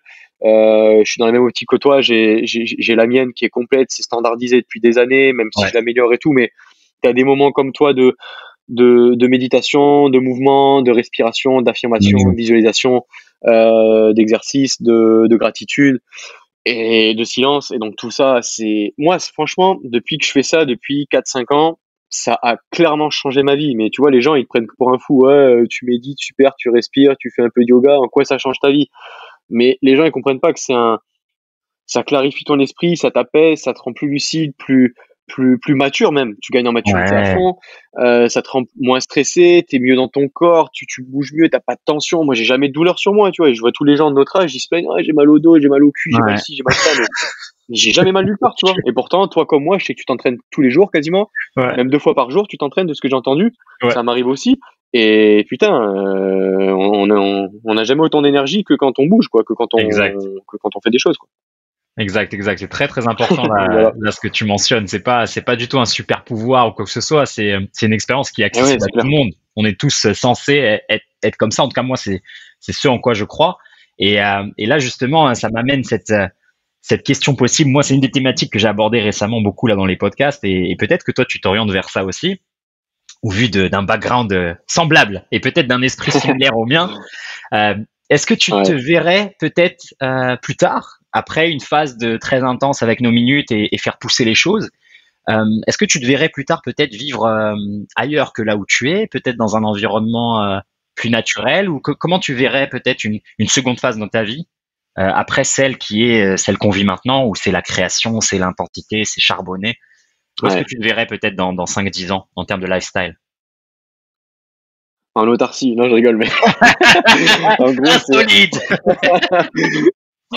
Grave. Chacun sa ah, Moi, je me vois vraiment euh, en nature, mon gars. En nature. Ah, oui. euh, en nature, euh, proche des animaux, proche des d'autres civilisations, proche des gens. En fait, c'est. Là, mon but, pourquoi je charbonne comme ça, c'est, enfin, de mes 17 à mes, mon objectif, c'est d'être libre de mon temps, de mes choix, de mes décisions et financièrement, euh, avant mes 35 ans. Donc, il me reste euh, 7-8 ans. Hmm. Et lorsque je, lorsque j'ai ça, mais du coup, de tes 35 ans jusqu'à, on vient, on vient à peu près au-dessus de 80, 85, 90 ans aujourd'hui, mais il te reste quand même au moins 50 ans pour aider les gens, si tu veux, faire d'autres projets, mais aussi prendre du temps pour voyager, pour rencontrer, pour euh, euh, euh, vivre des, enfin vivre des, des, des moments et des et, voir des paysages ou des, des, communautés, des, des, cultures que bah, que pour l'instant, vu qu'on est dans la fourmilière, on a on n'a pas le temps de vivre. Mais oui, c'est clairement me sortir des, du bruit du monde, de la pollution, de, de, de, de, de l'abstrait, enfin pas de l'abstrait, de, comment on dit ça, euh, du, du matériel, du, euh, merde, j'ai pas le mot, du fake, quoi, tu vois, du fake, et, et se recentrer sur les, les, les, vraies choses qui sont, je pense, euh, la lumière, l'oxygène, la nature, le, les, les animaux, l'introspection, les relations sociales, les vraies relations sociales, tu vois. Mmh. Euh, et, et, après aider, aider, les gens. Je veux aider, mais, mais, malheureusement aujourd'hui pour aider les gens, il faut pas que du temps, un sourire et, et de l'enthousiasme, il faut de l'argent, tu vois. Exactement. Et et quand et, j'espère hein, quand j'aurai de l'argent suffisamment, eh ben je sortirai de ce processus de gagner de l'argent. Enfin, je, je, sais pas si tu vois ce que je veux dire. C'est absolument. Une fois que tu as de l'argent, tu as la liberté, tu peux donner, tu peux contribuer, tu peux aider. Parce que si tu es toujours dans, dans cette quête de vouloir toujours de l'argent, de l'argent, de l'argent, tout en voulant aider, aider, aider, au final, tu veux de l'argent, mais t'en gagnes pas, et tu veux aider, mais t'aides pas vraiment. Parce que c'est malheureux ce que je veux dire, mais tu vois, les, j'ai des amis ou des gens que je connais qui vont faire des trucs euh, caritatifs au Mali ou dans des pays africains ou quoi. Mais à part donner de leur sourire et de leur temps, mec, tu les aides pas, quoi. Enfin, mm, c'est du fake. C'est juste pour ta bonne conscience et ton ego, tu vois. Par contre, quand, euh, on peut dire ce qu'on veut de, euh, on peut dire ce qu'on veut des, des, entrepreneurs à succès ou des hommes riches aujourd'hui, mais quand quand il y en a qui vont créer des écoles ou créer des puits ou créer des euh, des orphelinats ou créer des, des, vrais trucs, tu vois, concrets ou donner des comme Cristiano Ronaldo le fait euh, ou des, des, grandes stars le font. Oui, ils gagnent des millions, des milliards, ce que tu veux, mais il faut pas oublier qu'à côté ils aident énormément de gens. C'est juste que c'est pas médiatisé, quoi. Donc exactement. Ouais. Voilà, c'est malheureusement aujourd'hui on est dans un monde bah, si ça avait été euh, il faut il faut gagner des chocolatines ou des des, des, croissants on, on, on, gagnerait des chocolatines et des, croissants pour aider les gens mais malheureusement aujourd'hui c'est le dollar ou l'euro. Exact. Bientôt peut-être la crypto euh, la, la, crypto monnaie le truc mais voilà, euh, aujourd'hui, c'est, l'argent qui, qui, qui, prédomine pour pouvoir aider les gens. Donc bon, ben, écoute, euh, on essaie de, on essaie de, d'en gagner et pour après. Euh, Exactement. Mais tu sais là, ça, c'est, cette philosophie-là ou cette approche, ça me fait penser à, à Guy Ritchie. Peut-être tu le connais, tu sais, c'est le réalisateur ouais, film. Je l'adore. Et il a une interview que, que j'adore. C'est une, une, interview que je me mets en boucle d'ailleurs, tu vois, plusieurs fois dans l'année. une interview avec Joe Rogan. avec qui? C'est avec Joe Rogan? Ouais, voilà, c'est ça. Hein. Ah, elle est magique. Avec Joe Rogan, trop fort. Mais, ouais. on parlait du podcast. T'as vu Joe Rogan ou pas? Il s'est fait racheter 100 millions de dollars par Spotify pour l'exclusivité. Voilà. Tu vois, comme quoi les gens, ils sont au courant. Ils sont au courant que le podcast et le son est. C'est la vie. Mais oui. Mais oui. Et ce mec-là, je sais pas si t'as vu. Coupé, je coupé, mais vas-y. Non, non, t'inquiète. Il y a genre 13 ans, il commençait son premier podcast. C'était lui avec ses potes, un petit bédo sur une table, tu vois. Et là, maintenant, les gens ils disent, oh, regarde, Joe Rogan, il est riche et tout. Non, mais attends, ce mec-là, ça fait il y a 13 ans et il a invité tout le monde, en fait, des combattants, de, de à Elon Musk, à tout le monde. Donc, c'est, et c'est un par jour. Je sais pas si t'imagines. Le mec, c'est une machine, un par jour. Ouais. Un par jour. C'est hallucinant. De deux heures ou trois heures, quoi. C'est, c'est un truc. Mais ouais. Et, euh, et bref, là, il y a cette interview là avec Guy Ritchie où il mentionne quelque chose là que tu, euh, en tout cas, moi, c'est cette philosophie là à laquelle, euh, à laquelle j'ai, pu relier tes, tes propos. C'est cette idée de tu sais la phrase qui est euh, Don't hate the player, hate the game. C'est genre ne déteste pas le joueur, déteste le jeu. Et en fait, Guy Ritchie te dit non, ne mhm. déteste, pas le jeu parce que c'est le seul jeu que tu as. Donc là, dans cette idée d'avoir de, l'argent pour pouvoir aider, il y a beaucoup de gens qui vont dire exactement, ils vont dire non, moi je préfère faire un, un truc caritatif au Mali et tout. Non mais mec, tu es en train de cracher sur la finance, l'argent, etc. Mais en fait, si tu acceptes le jeu et que tu joues avec les règles du jeu, après, tu possèdes le jeu. Et donc mhm. après, tu es réellement capable d'aider, etc. Et je pense que ça, c'est très très important. Euh, je pense que c'est peut-être aussi en France, on a une mentalité comme ça, euh, on a une relation avec l'argent qui est, qui est très différente des, des, autres mondes. Tu vois, moi en Asie ou même euh, dans le monde anglo-saxon où j'ai beaucoup été aussi, c'est différent, tu vois. C'est qu'ils comprennent, beaucoup comprennent que l'argent c'est une énergie, tu vois, ça vient, ça part, mais il faut pas la rejeter. Parce qu'en fait, si tu veux après donner, Exactement il faut que tu, tu, en, tu en aies pour toi pour pouvoir donner. C'est comme de l'amour de soi, c'est comme l'estime de soi, c'est des énergies. Il faut que tu te remplisses pour pouvoir le donner. Mais tu peux pas le donner, euh, comme tu disais, un bon sourire euh, au Mali ou ailleurs. Euh, évidemment, c'est pas, pas, on va pas dire qu'il faut pas le faire. Mais je veux dire, euh, travaille, charbonne, euh, crée des projets, prends des risques. Et la récompense, ça va être bien plus que de l'argent, mais parmi les récompenses, il y aura l'argent. Et cet argent-là, tu vas pouvoir le réinvestir pour faire encore plus et pour servir encore plus. Donc, il faut en tout cas moi c'est ce que j'essaie de faire au, euh, au minimum quoi. C'est faut pas cracher sur ces choses là tu vois même si elles sont diabolisées etc c'est que de l'énergie tu vois ça vient sa part. Mais sans ça tu peux rien faire.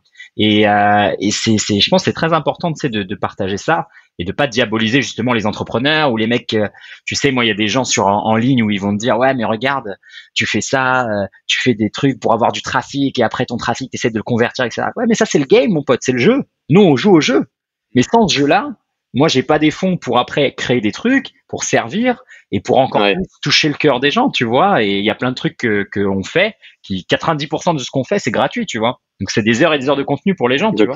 Et les gens ils comprennent pas ça. Il y en a beaucoup qui, qui se disent non, euh, faire quelque chose et gagner de l'argent, c'est mal, tu vois. Mais il y a rien de mal à ça. Ouais. Tu vois, c'est que sans ça, tu peux pas aider, tu peux pas servir plus. Tu vois, malgré toutes tes bonnes intentions, don't hate the game. Tu vois, faut jouer. Et je pense c'est important, important, de mettre ça en, en, perspective, tu vois. Pour beaucoup, euh, pour beaucoup d'entrepreneurs aussi, ça va un peu les réveiller, dire faut pas avoir peur, quoi. Il faut y aller là. Mais je pense qu'il y a un, un problème dans, c'est pas qu'en France, c'est en Europe en général, dans le sens où euh, on, on, catégorise on met dans des cases, tu vois. Un mec qui, qui, qui, qui, a des routines, qui médite tous les jours, ne peut pas gagner de l'argent. Un mec qui gagne de l'argent, c'est forcément un enculé. Un mec qui, tu vois ce que je veux dire? Euh, Non, mec, t'as as le droit d'avoir j'aime pas le mot business, tu as, le droit d'avoir une marque, un projet, quelque chose qui fait du bien aux gens en le monétisant, en gagnant de l'argent, euh, loyalement, euh, de bon gré et, et, et surtout mérité, euh, de méditer, d'être de, de, hyper spirituel, de voyager, d'aider les gens, de, de, faire du sport à haut niveau. Enfin, en fait, il n'y a pas de case, il faut être un tout. Et comme tu as dit, c'est d'énergie, c'est un tout, c'est un, c'est un, je sais, sais pas comment, j'ai juste une image.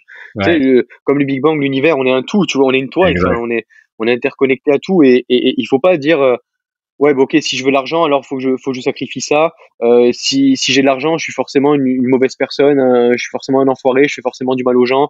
Non, non, non.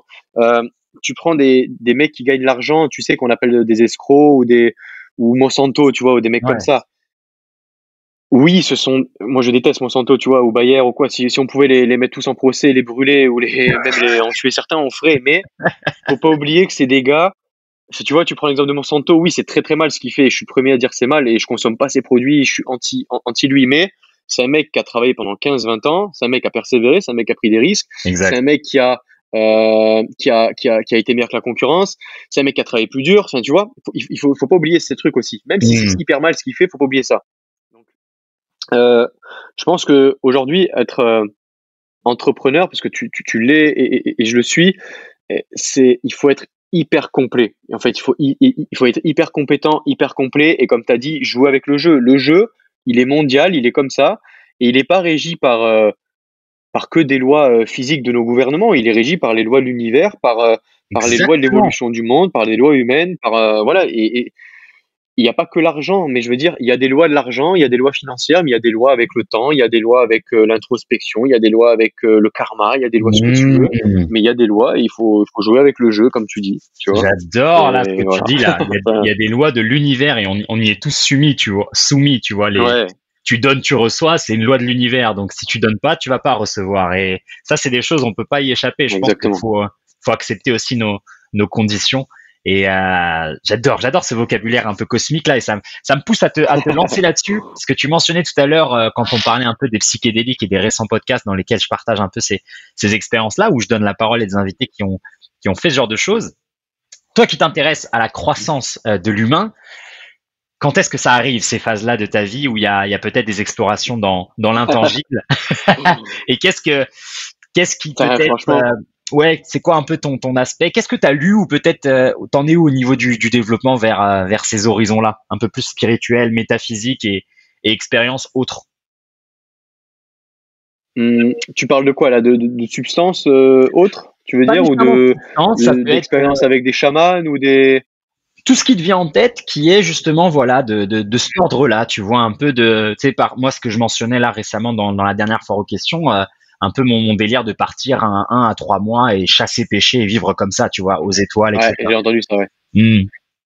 Exactement. Ben, moi déjà, c'est faire euh, ce, ce, qui, ce qui me tenterait déjà, c'est faire une retraite vipassana, mais mmh. pas la retraite vipassana aujourd'hui, c'est en mode commercial, tu vois. Ouais. Et la faire dans des, pas forcément au Népal ou, euh, ou, ou, Népal ou quoi, ou Yémen ou Thaïlande ou quoi, mais faire dans des endroits hyper reculés et, euh, et pas forcément dans des centres hyper connus, style un peu Club Med, tu vois, que c'est en train de devenir comme ça. C'est un business, malheureusement, la retraite y passe là aujourd'hui, mais aller dans des endroits avec des, dans des endroits que tu connais pas, euh, où tu dois méditer 10, 12 heures, 15 heures par jour, en, en, faisant silence, en travaillant sur l'introspection. Ça, j'aimerais bien faire pendant une dizaine de jours, euh, deux semaines. J'aimerais bien partir dans des endroits seuls, tu vois, à l'aventure. Toi, tu parlais mm. de 1 à 3 mois en excursion dans des endroits que tu connais pas, où tu dois te nourrir par toi-même, où tu dois vivre par toi-même, où tu dois laver ton linge par toi-même, où tu dois t'habiller par toi-même, où tu dois faire tout par toi-même, où tu dois te loger par toi-même. Et ça, j'ai vraiment aussi envie de le faire. Euh, je pense que si je le fais, en plus, ce serait dans des pays, on va dire, du Nord, euh, où tu as des, des, climats un peu plus euh, froids, arides et durs. J'aimerais bien essayer ça. J'aimerais bien aussi faire un, un le tour d'un continent sans rien planifier, tu vois, parce que moi je suis hyper rigide, carré, planificateur, organisateur dans, dans mon boulot, mais tout ce qui est ma vie, enfin j'ai pas beaucoup de vie extra pro, mais euh, le peu que j'ai et j'aimerais m'attendre à, à prendre une part plus importante avec le temps, de pouvoir euh, partir. Je prends mon sac à dos, il fait 2 kilos, et je pars faire le tour d'un continent, le tour du monde. Et je me démerde, je, je réserve pas où dormir, je sais pas comment j'y vais, euh, je sais pas ce que je vais faire. C'est vraiment avec l'intuition, avec le, le, feeling, avec l'impro. Et, voilà, c'est des, des, trucs comme ça, tu vois, des trips comme ça. Ouais, ça c'est magnifique. À fond. Ouais, ça c'est magnifique. Et tu te verrais, euh, par exemple, là, pour le trip un peu, euh, un peu, euh, tour du monde ou tour d'un continent, tu te verrais faire ça à quel moment, tu penses? Parce qu'il y a quand même le travail et tout qui prend une place importante. Donc, quand est-ce que tu te verrais, euh, verrais ouais, mais, faire ça? dès que j'arrive à dès que j'arrive à, à, à, avoir automatisé ces deux choses, ouais. que ce soit avec nos minutes, euh, quand ça aura pris d'ici 2-3 ans avec tout ce qu'on peut faire, si ça prend, hein, bien sûr, après je peux très bien avoir mis la clé sous la porte d'ici 6 mois, mais euh, si dans, dans, dans, la vision ça prend, tu vois, si avec mes projets immobiliers tout prend, si avec mes projets d'investissement euh, tout a pris et que je peux vivre, euh, être indépendant financièrement, ouais. Euh, ça peut arriver plus vite que prévu, tu vois, dans 2, 3, 4, 5 ans, 10 ans. Ouais. Ou sinon, ben, si malheureusement je dois euh, reprendre un poste de, euh, enfin, je dois être salarié, euh, enfin, je dois, je dois prendre un poste de salarié ou je dois travailler pour une boîte ou quoi, ben, on verra à ce moment-là, tu vois. Mais c'est, une, une dominante, c'est une, ça prend une place de plus en plus prépondérante dans, dans ma vie de faire ce genre de, de choses là, d'expérience là, ouais. Ah, trop bien, magnifique à entendre. Après, toi, tu parlais surtout, tu parlais surtout de, peut-être de, de psychédéliques ou de ou de, de substances on va dire euh, parallèles c'est ça non? Ça, non pas nécessairement pas nécessairement. pas nécessairement justement c'est pour ça que moi je voulais avoir un peu ton ton point de vue là. Je pense qu'on pense et on réfléchit de la même manière. Moi ce qui m'attire c'est beaucoup plus ça que justement le truc où tu sais tu, tu prends quelque chose qui te fait lâcher prise tu vois. Moi au contraire je préfère le côté comme tu disais un peu rugueux un peu plus où t'as non j'ai envie d'être conscient et, et regarder le, le, la chose en face quoi. Tu sais tu te dis voilà je suis dans un dans une forêt euh, dans le nord il y a la neige. Mais mec il traverse la forêt quoi et puis c'est tout quoi. J'ai pas envie de m'endormir et m'allonger par terre et voyager. J'ai envie de le faire là et d'affronter le truc et sentir les sensations de, dans mon corps. Donc euh, moi c'est ça aussi qui m'attire et c'est cette ce, ce truc grisant quoi de je vais peut-être mourir là. Mais vas-y on continue. Exactement. Et je pense que là, tu vois, quand tu es, quand es dans, des, dans des phases extrêmes comme ça ou marginales, je pense que niveau hormonal et, et, endocrinien, tu lâches beaucoup plus, fait, noradrénaline, adrénaline, euh, bref, on les connaît toutes, euh, tu lâches beaucoup plus de, de, de, de, substances hormonales surrénales que peut-être ne peuvent le faire euh, de la LSD ou de la MD ou j'en sais rien, tu vois. Donc, et en plus, tu le fais naturellement en vivant un truc de ouf et en progressant et en sortant de ta zone de confort. tu vois. Exactement. Parce que bon, euh, prendre, prendre de la CC ou, ou, taper dans la MD ou quoi, tu as des phases, on va dire, euh, euh, psychédéliques ou on va dire, j'ai pas le mot, mais très transcendantales, qui mhm. peuvent être bénéfiques, tu vois. Mais c'est quelque chose qui est facile, quoi. C'est facile, tu es dans un état passif, t'es pas sorti de ta zone de confort, t'as pas vécu d'expérience de ouf. Euh, t'as pris ta dose quoi et voilà point barre. Et après t'as une redescente tu vois. Ce, Exactement. qui est, ce qui est parfois difficile à maîtriser. Ouais. donc voilà je suis, je, ouais, je suis vraiment plus comme toi euh, dans ce sens là quoi. Et justement là cette thématique d'un peu toujours chercher la difficulté toujours chercher quelque chose qui est euh, pas encore fait etc euh, quand est-ce que tu dirais que toi ça, ça, ça t'est venu ou ça t'est pris ou est-ce que tu penses que c'est un, un trait de caractère qui est peut-être sain euh, à développer, tu vois, de toujours chercher le côté euh, ah non, moi je préfère que ça soit dur, je préfère affronter le truc. Moi je sais que je suis comme ça, ça m'a beaucoup joué des tours, mais je sais, en tout cas je pense à cette phase de ma vie que ça a toujours été bénéfique euh, in fine pour moi d'être un peu comme ça déter, tu vois. Et euh, et ouais, dans, dans, les influences les influences que tu as mentionnées, il y a aussi ce côté-là, ce caractère un peu de j'ai faim quoi, j'ai faim de la vie, j'en veux plus et je veux affronter les choses. Euh, toi, est-ce que tu as déjà réfléchi un peu sur cet aspect de ta personnalité et comment tu le, tu pourrais nous, nous le décrire? Ah ouais, c'est, c'est, un très bon point que tu, que, que tu nommes là. Euh, tu vois, je te prends un, exemple, ben, tu vois que ce soit, euh, euh, j'allais dire Joe Regan, mais pas du tout, Joko Willing, tu vois, sur la, sur la, sur, la discipline. Mmh. je suis quelqu'un d'hyper, et tout le monde me le dit, tu vois, ouais, Max, euh, tu dors pas, t'en fais trop, euh, nana, nana, euh, tu, tu, tu, tu, vas canner, arrête de travailler, prendre du repos, nana. Mais sur un an, sur 365 jours, moi je fais du 7 sur 7 tout le temps. Et c'est pas du c'est pas du 7 sur 7 pour se sentir occupé, tu vois. C'est du, du 7 sur 7 pour se sentir productif et actif. Et dans des moments, parce que je prends 10 jours par an off en général, enfin répartis, mais j'essaie de prendre un, week-end par-ci par-là, 4-5 jours à Noël grand max et, et, et 4-5 jours au mois de juin parce que j'ai pas de vacances juillet août, on, on s'entraîne tous, mais au mois de juin à la fin de saison. Et tu vois, quand, quand je pars avec ma copine ou seul ou des amis, on prend hôtel de fou, trop bien, tout confort, nanana, nanana, au bout de, au bout de 2-3 jours, je, j'en ai marre, quoi. Ah oui. Tu vois, ah oui. tu, ouais, je me dis, putain, mais, mais j'ai des trucs à faire, je suis plus stimulé, je me laisse aller, je me, tu vois ce que je veux dire? Alors que tu as un hôtel 5 étoiles, tu as des trucs de ouf, tu as des jacuzzi, sauna, des hammams, des, des, des grosses chambres, des tout. Et, et, et ben non. Et euh, je suis un peu comme toi, j'aime bien être dans, dans la difficulté, dans, dans, dans sortir sa zone de confort, d'être euh, dans l'inconfort tout le temps, tu vois. Hmm. Euh, être, être confortable dans l'inconfort, tu vois. Et euh, ouais, je, je, suis comme toi, je suis là-dessus, j'aime bien, hein, pas minimaliste, enfin aussi, ouais, je, je, suis très minimaliste aussi, mais être dans avec ça, avec ce que j'ai là, je peux faire énormément de choses.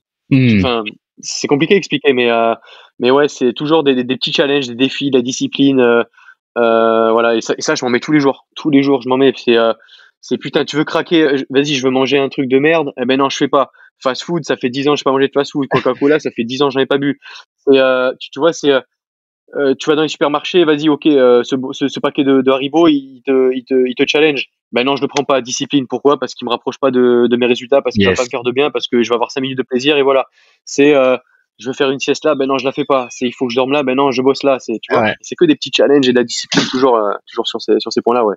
Ouais, bah, non, moi, ça, ça me parle. Hein. Moi, j'ai, je fais un effort, tu vois, de, de m'autoriser des moments tu vois d'écoute, etc. Notamment, tu vois, avec les voyages, quand tu fais des gros voyages. Et euh, mhm. maintenant, je suis beaucoup plus à l'écoute de mon corps, tu vois, en mode non, mais là, mec, t'entraînes pas. Repose-toi, tu viens de faire genre 24 heures de vol, c'est normal de se sentir décalé, machin, les hormones et tout.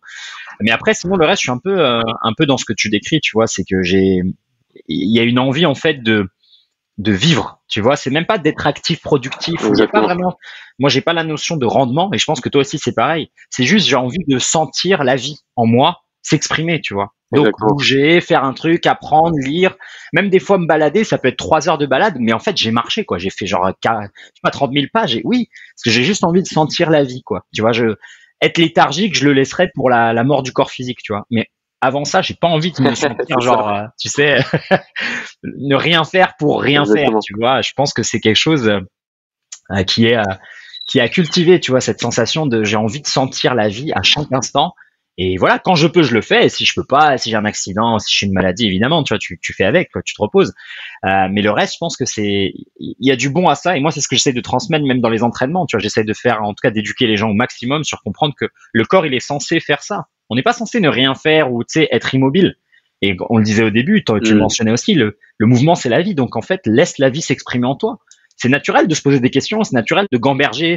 Faut pas avoir peur de ces moments-là mais trouve un, un, moyen de les exprimer, l'écriture, la lecture, l'apprentissage. Laisse-le, euh, laisse ce fluide en fait vivre parce qu'un jour tu l'auras plus, tu vois, ou un jour on va te l'enlever. Et là, c'est ce jour-là, tu, tu, vas le regretter, quoi. Tu vas dire, mais en fait, j'aurais dû en profiter quand je l'avais, quoi. Quand j'avais ce feu intérieur, tu vois. Regarde le nombre de personnes qui disent, j'aurais aimé avoir mes 20 ans encore et tout. Moi, je veux pas mes 20 ans encore. C'est bon, je les ai passés. Je veux là les, ce qui arrive, tu vois. Je m'en fous. Le reste, c'est déjà fait. Donc, euh, je pense que ça aussi, c'est important de, de, de partager et de, peut-être s'attarder aussi des fois là-dessus, quoi, de se dire, est-ce que je vis vraiment une vie euh, pleine et entière, tu vois? Est-ce que je, vraiment je, tu sais, je presse la vie, quoi? Moi, c'est cette idée à chaque fois que j'ai, je, suis en train de presser comme un torchon, je presse la vie au maximum que je peux, comme si on allait me la prendre demain, tu vois? Et bah voilà, c'est comme ça que je veux vivre, quoi. Ouais. C'est vrai. Et t'as le, as le principe de, de minimisation des regrets, tu sais? Exact. Euh, c'est sur ton lit de mort, tu sais. Euh, sur ton lit de mort, en général, les gens, ils ont, ils sont déçus de, de ce qu'ils ont pas fait plutôt de plutôt que, de mhm. ce qu'ils ont fait tu vois dans leur vie. Et c'est ça qui est, qui est hyper important. Tu vois tu tu mentionnais euh, le fait de, de, presser la vie.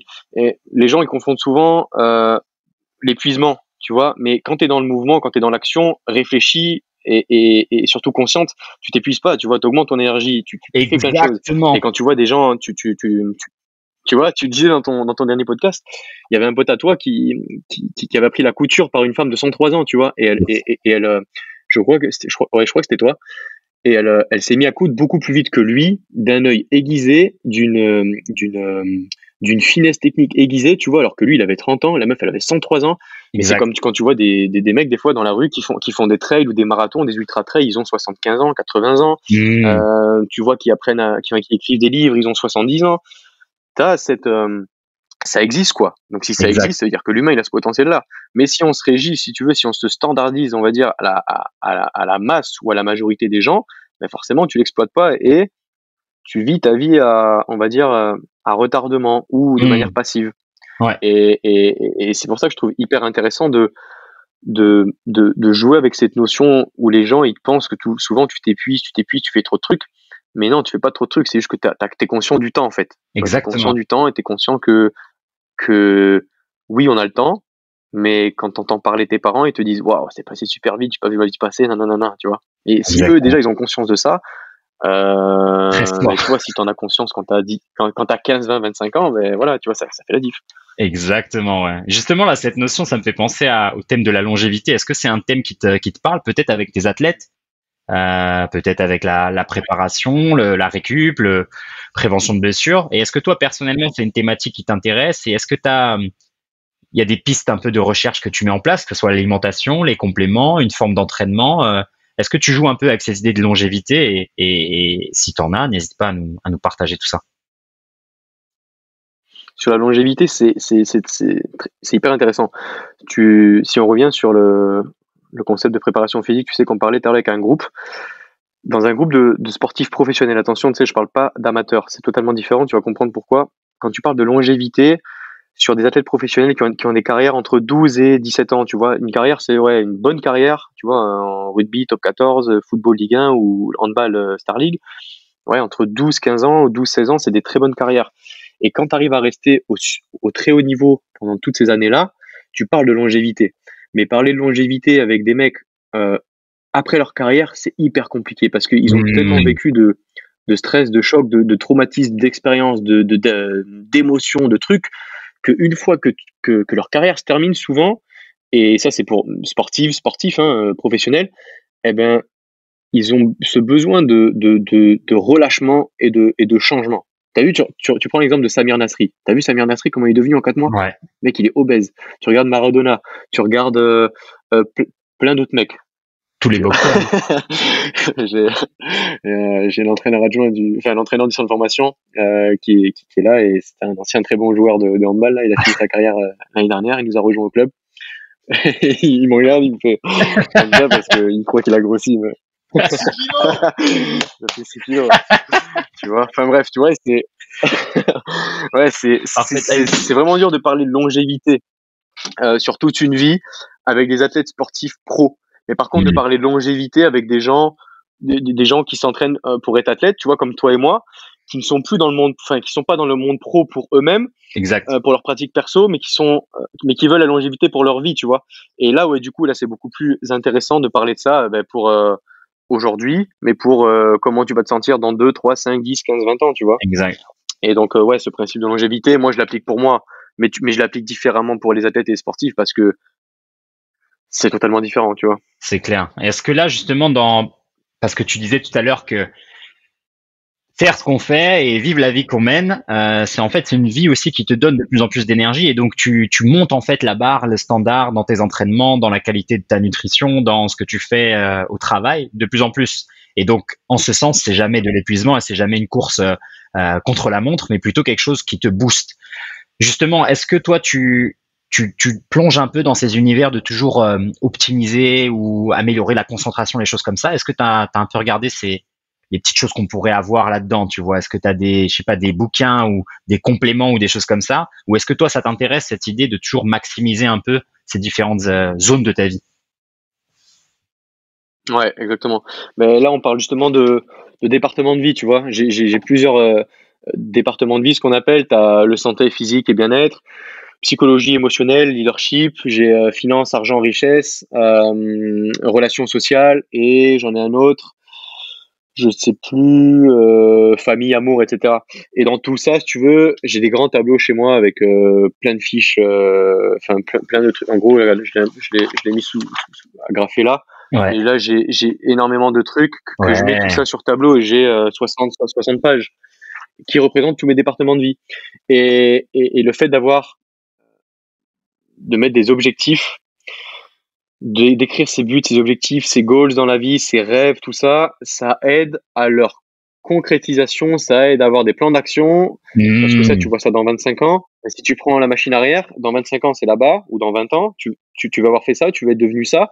Mais qu'est-ce que tu fais chaque jour dans le sens inverse pour y arriver? Et du coup, c'est plein de petites actions chaque jour qui font ben, euh, que tu vas apprendre à optimiser ton temps, à créer des bonnes habitudes, des bonnes routines, euh, à laisser place aussi un peu parfois à l'improvisation et au hasard, même si je ne mhm. crois pas au hasard, mais à ne pas planifier, à ne pas planifier 20% de ta journée. Mais euh, pour, on va dire, je pense, euh, optimiser, maximiser, potentialiser tout ça, il faut structurer, apprendre à structurer et apprendre à gérer son temps, apprendre à gérer ses journées, à mettre en place des stratégies de, euh, de programmation, de planification, euh, ouais, de ses actions. Euh, voilà, tu vois, avoir un agenda, par exemple, c'est hyper important. Mmh. Écrire ses journées, les détailler, mettre ses trois objectifs prioritaires, sectoriser ses journées, avoir des journées de production, de productivité, d'action, de repos. Enfin bref, c'est hyper important. avoir des routines matinales et du soir, c'est hyper important. travailler sur sa nutrition, s'entraîner chaque jour, voilà, c'est hyper important. Enfin voilà, tu vois, il y a plein de petits trucs euh, et qui au final ben, euh, font, font, font, ta vie et qui chaque jour mis, mis bout à bout font ce qu'on appelle l'effet cumulé. Hein, je t'apprends rien. Donc euh, voilà. Ah, magnifique, magnifique. Là, tu partages beaucoup de choses. Je pense que avec cette partie-là du podcast, on aura perdu 99% de l'audience, mais c'est pas grave. on, aura, on, aura, les solides qui seront restés. Non, je plaisante. C'est ça. Et justement, là, peut-être pour, euh, pour apporter un peu plus de, de légèreté, est-ce que parmi toutes ces choses-là, malgré toutes les, euh, toutes les bonnes choses et les, et les, on va dire, les structures, les organisations, les protocoles que tu as en place, est-ce qu'il reste quand même, ou est-ce que tu t'octroies, ou est-ce qu'il y a peut-être dans ta journée, dans ta semaine, peu importe, des habitudes encore ou des petites choses que tu fais qui sont ridicules, tu vois, des choses que, que toi, toi-même, un peu toi et tes pensées, vous avez encore, et c'est comme des petits jeux et qui te font un peu retomber en enfance, ou tu sais, des, des trucs ridicules que tu fais, ah peu importe, tu vois, dans ta journée, est-ce qu'il y en a un qui te vient en tête euh, et pour montrer en fait qu'on est tous humains, tu vois. ça, ça peut être intéressant de savoir. Ah oui, mais oui. On est tous humains, justement. Euh, des trucs, oh, putain, franchement, là, tu me prends de court. euh, non, ouais, qui sortent un peu du, du, du process, du truc, ouais, du truc planifié, euh, discipline. presque idiot, quoi, tu vois, des trucs que tu fais encore ou des trucs que tu sais, tu prends du plaisir à collectionner ou tu sais, des trucs un peu comme ça ridicules. Ouais, je vois. Toi et toi-même, tu vois. Ah, C'est une très bonne question. Euh, J'en ai pas comme ça parce que je le fais, je le fais instantanément, je pense, exact. sans le voir, tu vois. C'est sûr. Ça peut être, ouais. Non, euh, des trucs que je fais, ouais, des trucs que, que, que tu peux faire, c'est, t'es en voiture, tu vois, t'es en voiture et ouais, tu peux te mettre à chanter, euh, n'importe quoi, ou tu peux te mettre à, observer les gens, tu vois, et, à observer les gens et, te mettre euh, et essayer de voir ce qu'ils pensent eux, tu vois, ou, de, de, de, je sais pas, de, ouais, de comprendre leurs pensées. Ouais, c'est des trucs comme ça, mais franchement, je pense que sur le moment, j'y pense pas vraiment et je fais pas vraiment attention. Bien sûr. Euh, ouais, des trucs assez drôles que, que je me refaisais quand j'étais en enfance ou quoi. Euh. Ouais, ou tu sais, une habitude un peu bizarre. il y a des... ça peut être. ça peut être d'imiter des voix, tu vois. J'imite des voix quand je suis tout seul ou j'imite des. ouais, j'imite des voix, je me fais des. des trucs un peu bizarres. Euh, Qu'est-ce que ça peut être aussi? Ça va me revenir, mais. Ah, bah, là, comme ça. c'est exactement ça. c'est ce genre de choses que moi, j'y pensais récemment, tu vois en fait, ça arrive souvent, tu sais, quand tu es avec quelqu'un et, euh, et, que tu restes souvent avec quelqu'un. Moi, c'est pas mon cas, tu vois. Et pourtant, j'ai une copine, mais tu vois, on n'habite pas ensemble et on est toujours. Moi, je suis très attaché à mon petit cocon à moi, etc. Mais tu vois, là, récemment, on a dû passer beaucoup de temps ensemble, comme on était dans les voyages, on voyait la famille, etc. Et donc, au bout d'un moment, tu sais, t'observes les gens et tu fais, ça, mais toi, tu fais tout le temps ça. Et tu sais, des choses que euh, qui te sortent en fait de, de ta tête. Et, euh, et moi, il y a un truc que je fais, j'avais jamais euh, spécialement remarqué, tu vois mais tu sais, j'éteins toutes les lumières tout le temps en fait, et dans le même ordre, tu sais, mais genre, par exemple, tu sais, elle est, je sais pas, elle est dans une ah pièce, elle a la lumière allumée. Moi, je vais toujours suivre et éteindre la lumière, et je sais pas pourquoi, tu vois. Et tu sais, c'est un peu le réflexe un peu du mec, du mec élevé pauvre, tu vois, ou genre, moi j'ai toujours éteint les lumières chez moi parce qu'on m'a toujours dit, eh, on n'est pas riche, éteins les lumières, tu vois, tu vois. Et donc je fais, je fais encore ça, quoi, mais partout, quoi, partout. Et, et un autre truc qu'elle me disait, tu sais, par exemple, on, on, a pris quelques Airbnb ou des, des hôtels, etc je nettoie tout avant de sortir d'un hôtel ou d'un Airbnb. Elle me dit, mais mec, tu sais, il y a des gens, ils vont le faire. Moi aussi. moi, je peux pas. Alors, c'est le principe, tu vois, de, de laisser C'est le principe. C'est il faut que je fasse le lit, faut que je rende le truc propre, tu vois. Et tu sais, c'est des trucs comme ça où tu as encore des, des patterns où tu sais même pas d'où ça vient et des trucs comme ça qui sont parfois ridicules. Et les gens qui t'observent, ils vont dire, mais en fait, t'es, t'es un alien, quoi. Oui, mais en fait, on est tous. Et c'est pour ça que je te posais la question parce qu'on l'est tous, en fait. On a tous ces côtés, euh, ces petits trucs comme ça. Et, et je serais pas surpris d'apprendre que même les mecs, les Elon Musk, les gars qu'on admire, ils ont tous un truc de, ah, je, collectionne, je sais pas, moi, je collectionne des photos de briques ou j'en sais rien, des trucs vraiment ridicules. Je dis, mais mec, pourquoi tu fais ça? Parce qu'en fait, c'est ça le côté, euh, tu vois, tu le mentionnais tout à l'heure, on est, on est tous interconnectés, tous, euh, on est vraiment cette, ouais, bang là, tu vois. Et je pense que c'est à la fois physique et à la fois temporel. Moi, il y a des trucs que je fais, je sais qu'ils sont intimement liés à mon enfance et que ce sera toujours comme ça. Et des fois, quand je m'en rends compte, je suis content en fait. Ça, ça me procure de la joie. Je me dis putain, mais tu viens de, de te voir, tu vois. Et des fois, c'est, c'est, ouais. tu vois ce que je veux dire. Des fois, on, on a tendance à critiquer ces choses-là. On essaye peut-être à tort de les éliminer, de les contrecarrer en se disant c'est pas productif, c'est pas utile, etc. Mais en fait, c'est ce qui fait que qui tu es. Et des fois, je pense que c'est bien de mettre quelquefois la lumière dessus, ou en tout cas d'oser les, les laisser s'exprimer. Comme la chanter, tu disais. Euh, moi aussi, ma copine, c'est ce qu'elle fait. Elle passe son temps à siffler et elle s'en est jamais rendue compte. Et moi, ça me fait péter un câble. Donc je dis, hey, tu siffles tout le temps. Elle me dit, putain, j'avais jamais vu. Et en fait, c'est un truc qu'elle fait depuis qu'elle est petite. Ah, mais j'ai. Tu vois? Ouais, j'ai des trucs comme ça, du coup. Ouais. Tu vois, tu sais, quand tu sors de la douche, et je crois que c'est depuis que j'ai depuis que j'ai 6-7 ans, hein, je me sèche exactement dans le même ordre que. Non, mais abusé. Genre, je peux fermer les yeux, je peux fermer les yeux et je sais que je vais commencer à, je, vais retourner la serviette, je vais, je, vais, je vais commencer à me sécher le dos. Ensuite le bras droit, je descends, c'est le bras gauche, ensuite c'est la jambe, c'est toujours pareil. Je sais que quand je m'habille, c'est, je m'habille toujours debout, je m'assois jamais pour mettre mes chaussures. C'est toujours debout et je me fais des petits jeux à, tenir sur un pied, tu vois. Euh, je sais que me brosser les dents, tu vois ouais là ça me revient brosser les dents je me lave enfin je me brosse les dents c'est sur un pied ou des fois j'essaie avec la main opposée ouais. euh, ça peut être quoi? Ça peut ouais je suis hyper maniaque genre euh, mm. euh, dans mon appartement je peux avoir une chaise qui est de travers je vais monter je suis capable de redescendre pour aller la remettre droite tu vois tu vois c'est des trucs euh, c'est des trucs de psychologie des fois tu vois les, les, coussins dans le canapé les coussins dans le canapé s'ils sont pas bien mis je peux être capable ouais, de, de, partir, je, je pars chez moi, je réouvre la porte, non, vas-y, il faut que je les range bien. C'est n'importe quoi. Tu vois moi, j'ai trop de trucs comme ça où je, fais, que... je fais, ça me fait péter des câbles, tu vois, et, je peux pas, et je sais que je sais pas. C'est clair.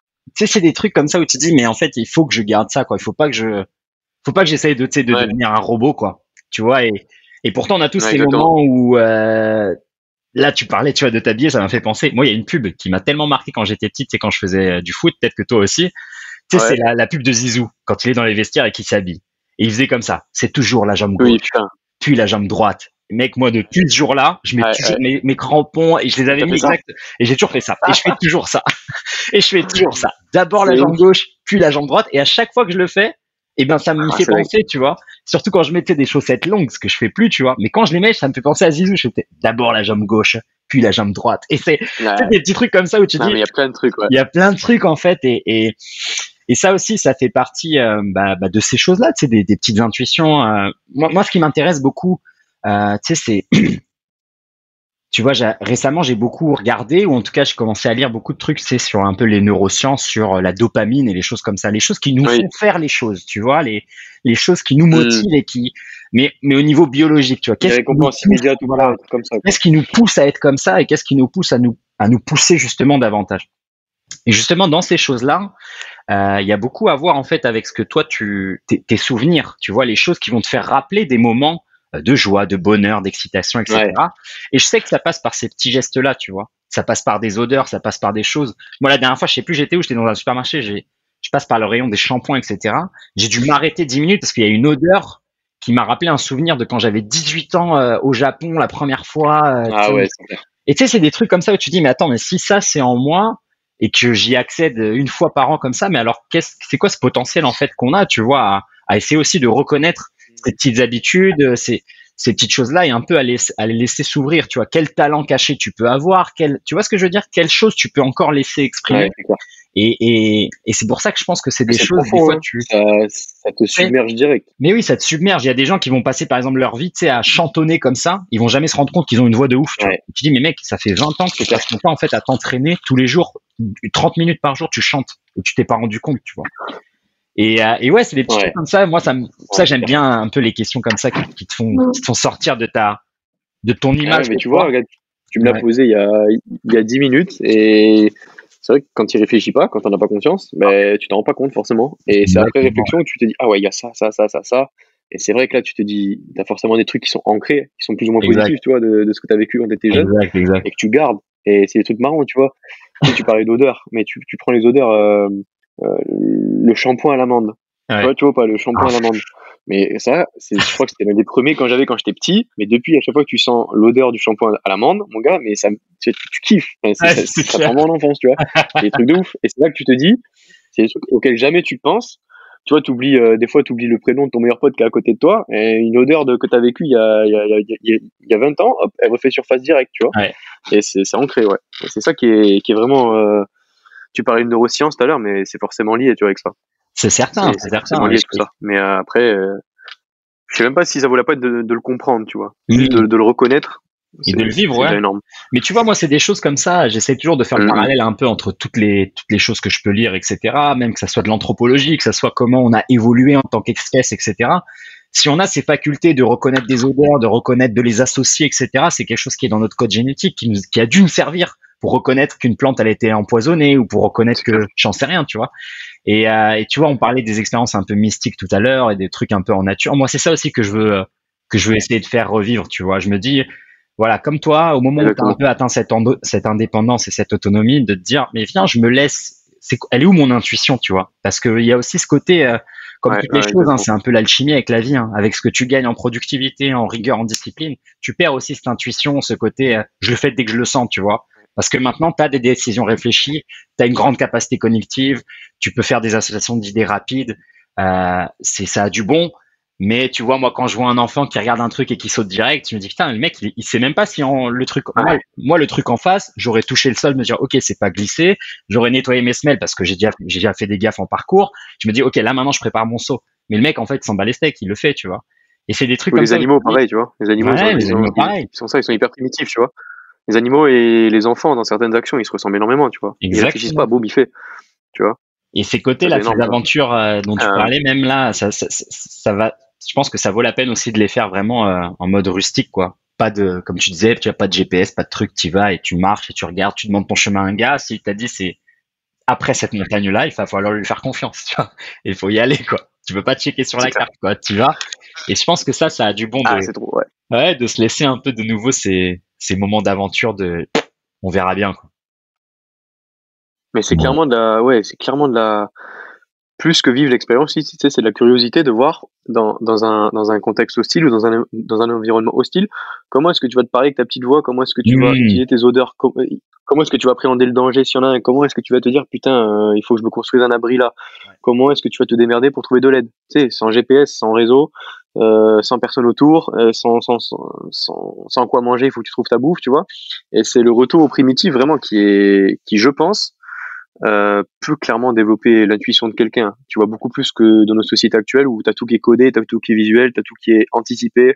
Tu vois, et ouais, je pense que ça c'est dingue. Mais je sais pas toi. Euh, bon, tout le monde se parle à soi-même, tu vois. Tout le monde a sa petite voix intérieure. Tu vois, c'est ce qu'on appelle ouais, l'intuition, la petite voix. Euh, toi, tu te parles à quel Moi, je me parle à la. Je me parle à la première personne, tu vois. Mais souvent, comme comme s'il y avait deux mois, tu vois, à l'intérieur. Et c'est pas l'ange et le démon, c'est pas ça, c'est il y a moi, c'est le boss, tu vois, et il y a le petit enfant à côté. Tu vois ce que je veux dire? Genre, le moi, le boss, il va dire euh, Bon, mec, là, t'abuses, là, euh, t'en fais pas assez, tu vois? Ouais. Et, et, et, et l'autre qui va dire euh, Ouais, t'as raison, vas-y, on se bouge le cul. Du coup, ils s'associent les deux, tu vois? Ouais. C'est jamais dans la dualité. Il y en a un qui fait une réflexion, je me fais une réflexion moi-même, tu vois? Et, et l'enfant, le, le, le, mois de 27 ans, il rejoint l'autre, il fait OK. Tu vois, il, je suis jamais dans la dualité, genre vas-y, je prends ce beignet au chocolat ou je le prends pas, tu vois. Ouais, bien sûr. Je prends pas ce beignet, au prends pas ce beignet au chocolat, pourquoi? Parce qu'il est pas bon pour toi, parce que nanana, parce que nanana, voilà, c'est réglé, tu vois. Mais ouais, il faut. Je pense que l'intuition aussi, c'est le fait de, de, savoir se parler à soi, tu vois, sans, sans être fou. Ouais, bien sûr. Mais savoir se parler à soi. Moi, je, te je, te rejoins parfaitement là sur cette idée. C'est aussi un truc que je me rends compte que, que je fais exactement là, comme comme ce que tu as décrit. C'est je me parle à moi dans dans un dans un soutien en fait, dans un rappelons-nous ce qu'on a déjà décidé ensemble et comme tu dis, on est plusieurs, on est deux, mais c'est jamais du, comme tu dis, le, bien mal. De, je ne sais pas si vous êtes deux. Ouais, c'est ça. Non, mais c'est vrai, c'est vrai. J'en sais rien, tu vois. Euh, mais c'est vrai qu'il y a toujours une petite voix et elle est toujours personnelle et elle essaye toujours de réconforter, euh, de, de, de. Mais tu vois, par exemple, j'ai pas besoin de motivation. Je sais pas si toi t'es comme ça. J'ai pas besoin de motivation. Ouais, non, c'est clair. Tu vois? Non, non. J'ai pas besoin qu'on me dise, vas-y. Motivation, c'est un, un fake.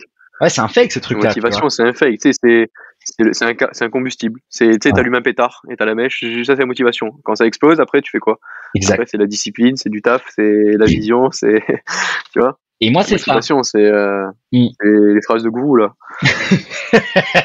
c'est exactement. mais je pense que c'est important. mais, c'est. Mm. Vas-y, vas-y. C'est Eric Thomas, tu sais, bah, l'un des speakers les plus connus aux States ou euh, ou Harv Eker là. Euh, ouais. Harv Eker, c'est euh, Steve Harvey. Steve Harvey. Il disait tout le temps, mais euh, il y a des gens, ils nous écoutent tous les matins, ils nous écoutent tous les matins, ils sont hyper motivés, tout ça, ils partent à 8h au taf, à 8h20, ils ont leur clope. Euh, euh, la discussion avec les gens toxiques au boulot, et ils branlent rien, ils vont sur les réseaux sociaux, tu vois. Voilà. Et pourtant, il m'a écouté une demi-heure avant, tu vois, mais c'était la motivation. Le mec a été motivé 20 minutes. Exactement. C'est un problème. Exactement. Le truc, c'est que ça marche. C'est illusoire. C'est ouais, ça. C'est ça, c'est ça. Eh ben écoute, sur cette euh, pétillante conclusion, mon Max, je t'amène vers la dernière partie du, du, podcast que tu connais certainement avec les quatre questions que je pose euh, à l'invité. Et je pense que de ta part, il y aura beaucoup de, de gros, okay, gros outils. Je te remercie. En tout cas, on a abordé plein de choses. Il y a encore plein de choses à dire, mais c'est fou. Là, tu m'as, tu m'as fait transpirer. Grave. Donc, euh, c'est pour te dire. Je suis en, je suis en sueur. C'était en Thaïlande, là. C'est aussi le cas.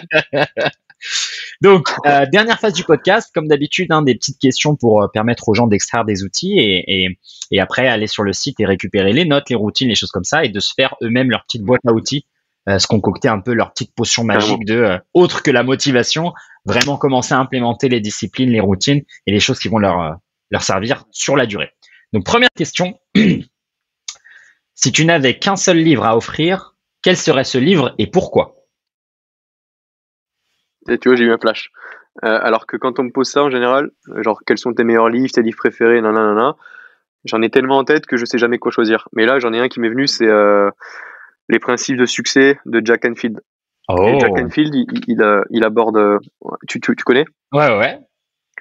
C'est un livre. C'est un livre. Il fait 600 pages. Hein. Il a tous les principes dedans, mais il traite tous les départements de vie, c'est comme on l'a vu, santé, physique, bien-être, leadership, psychologie, euh, amour, relations, euh, introspection, tout, bref, il y a énormément de trucs et c'est vraiment une dinguerie, tu vois. Euh, franchement, les principes du succès de Jack Enfield, il est top. Quand est-ce que tu l'as aussi La tribu des mentors de Tim Ferriss. je l'ai lu une dizaine de fois. Je l'ai lu une dizaine de fois, mais j'ai dû lire quand j'avais 19 ans, 20 ans. Et ça t'a marqué depuis ce temps-là? Ouais, ça m'a marqué parce qu'en fait, j'ai déjà plein de livres de dev perso, de leadership, d'entrepreneuriat. Mais lui, tu vois, sur la psychologie humaine et sur, euh, sur l'introspection et sur la spiritualité même, et sur les, les facteurs de réussite ou de succès d'un homme, que ce soit financier ou autre, il condense tout, tu vois, en 600 pages. Bah, après, il faut le lire, tu vois, c'est un gros truc. Exact. Mais il est tellement assimilable facilement que. C'est pour ça qu'il en a vendu 150 euh, millions. Hein, ouais, ouais. Tu vois. Euh, et, même, hein, t'as les, les top, top 15, top 20 entrepreneurs du monde, ils le recommandent tous. Hein. Ouais, bah ouais.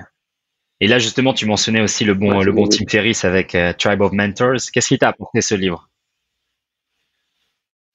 Eh ben, tu vois, la semaine de 4 heures, je l'ai lu quand j'avais 17 ans.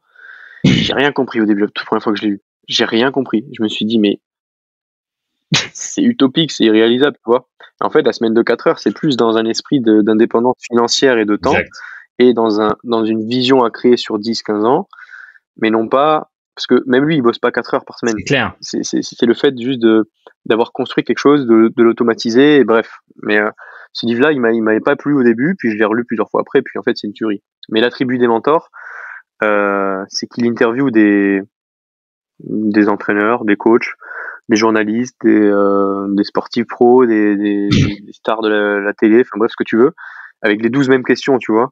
Et dans ces 12, dans, dans ces 12 mêmes questions, il y a toujours une question, enfin deux questions c'est, qui me marquaient, c'est s'il y avait, un, s'il y avait un, panneau publicitaire géant, qu'est-ce que vous écririez dessus Et que tout le monde peut le voir, tu vois. Ça, c'est, t'avais souvent des anecdotes de malade, tu vois. Et la deuxième, c'est quand vous êtes fatigué, dépressif ou vous vous, vous sentez moins bien, qu'est-ce que vous faites? Et donc, t'as vu, vu qu'il a interviewé euh, 3 ou 400 personnalités reconnues dans le monde, mais t'as 3 ou 400 trucs différents, tu vois. Et là, t'en as, enfin, franchement, c'est hyper riche. Ce, livre, il, il, pareil, il fait 600, 700 pages mais il est hyper riche. Quoi. Tu l'as lu, enfin, tu connais. Hein. Sûr, à dévorer. Et moi, c'est justement en m'inspirant de la tribu des mentors que j'ai créé cette petite section à la fin de chaque podcast avec les trois questions. C'est vrai. Ah, ouais, c'est exactement pour euh, imiter ça, pour que chacun en fait ait, euh, bah voilà, le livre, la routine, etc. Tu vois. Et après, j'aimerais bien étendre ça peut-être à une pratique du mouvement ou à quelque chose. Mais ouais, l'idée c'est j'interviewe que des movers et regarde tous ils te disent quoi, tu vois, sur ces trois questions-là. Donc c'est c'est c'est l'inspiration de, de, de, ce bouquin-là et à recommander euh, absolument, clairement. Ah Deuxième question, mon Max. Si tu n'avais qu'un message à laisser avant ton départ physique, ça peut être un mantra, une citation, un mot, quelque chose que tu laisserais à l'humanité avant de quitter euh, cette belle planète et qu'on pourrait se rappeler de toi.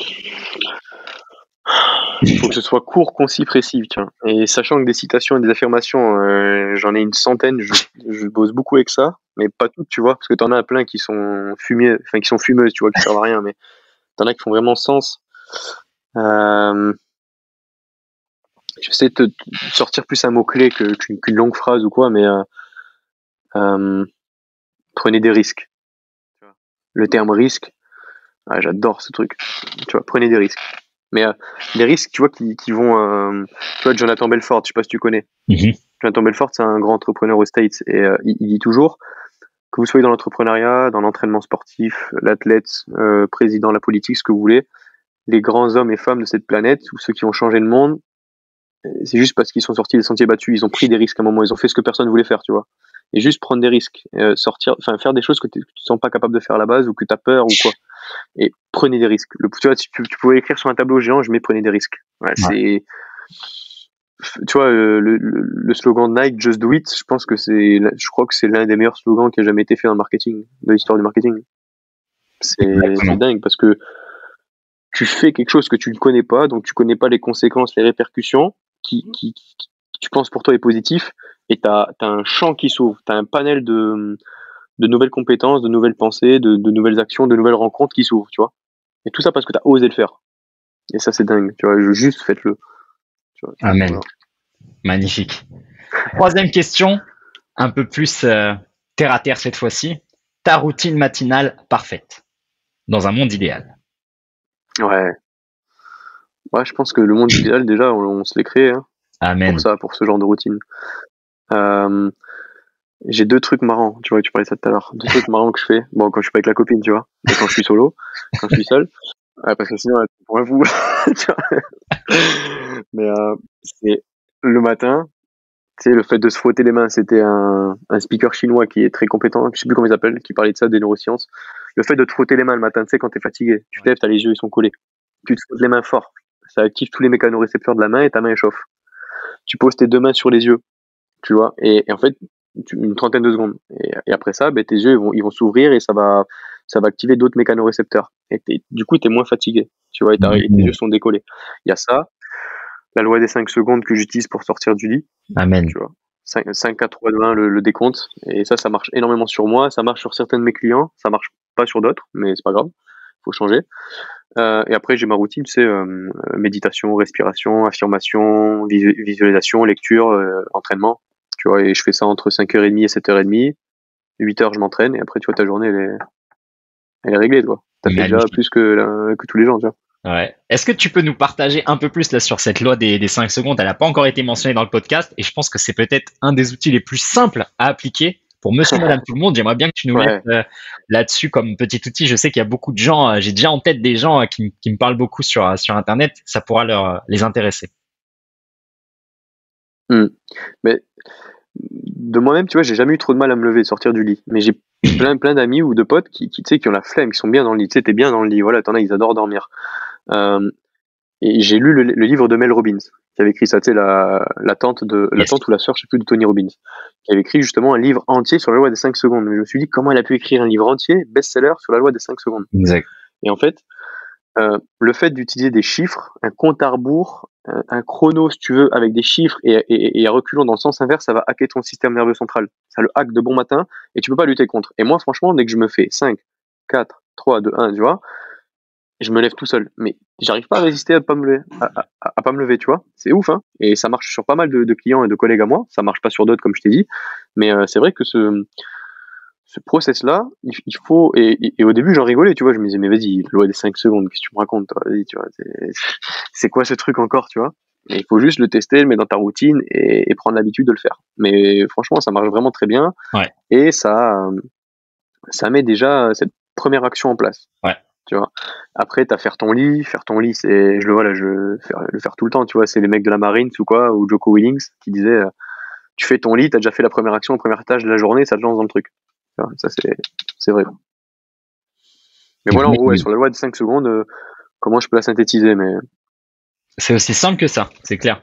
Et tu sais que ça marche même hein. euh, moi, je l'ai beaucoup essayé, parce que le lit, non, j'ai jamais eu de soucis. Mais par exemple, tu vois, à l'entraînement, c'est que moi j'avais toujours l'habitude de compter euh, tu vois, positif.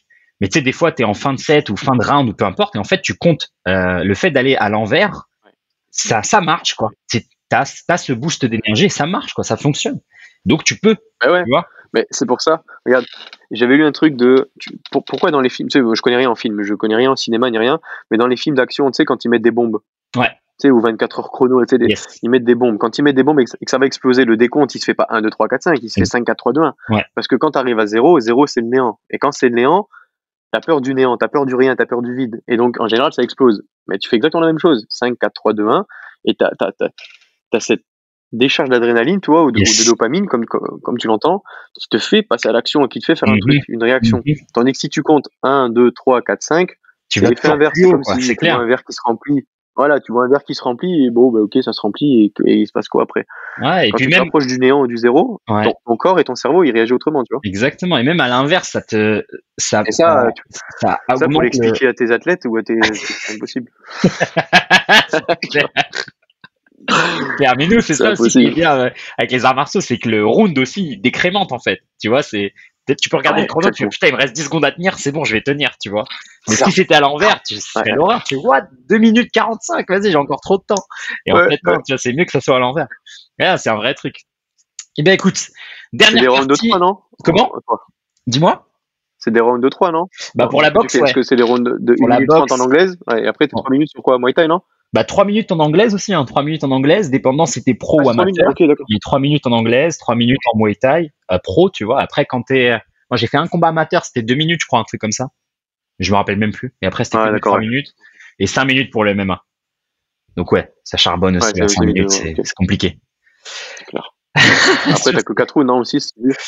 5 si c'est des championnats, sinon 3, 3 fois 5. Mais moi, j'ai jamais fait, donc je sais pas, mais j'ai eu les athlètes, euh, c'est 3 fois 5 minutes, c'est déjà chaud, tu vois.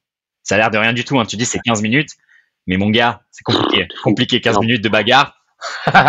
Très compliqué. Avec 2 minutes de pause, c'est chaud. anyway. grave. Sur ces paroles, euh, mon Max, euh, dernière petite question qui n'en est pas vraiment une. pour celles et ceux qui ont apprécié le contenu de l'épisode, qui voudraient te contacter, et qui voudraient soit échanger, soit se poser des questions, que ce soit sur l'entrepreneuriat, l'entraînement, sur nos minutes, peu importe. Euh, où est-ce que quel serait le meilleur moyen de te contacter? Et euh, je mettrai ça sur la page sur mon site. Et comme ça, je ferai office de vecteur de passage vers ton contenu et euh, vers aussi la personne. Bon, mais top. Le plus simple, c'est sur Instagram, vu que c'est là où on est le plus présent.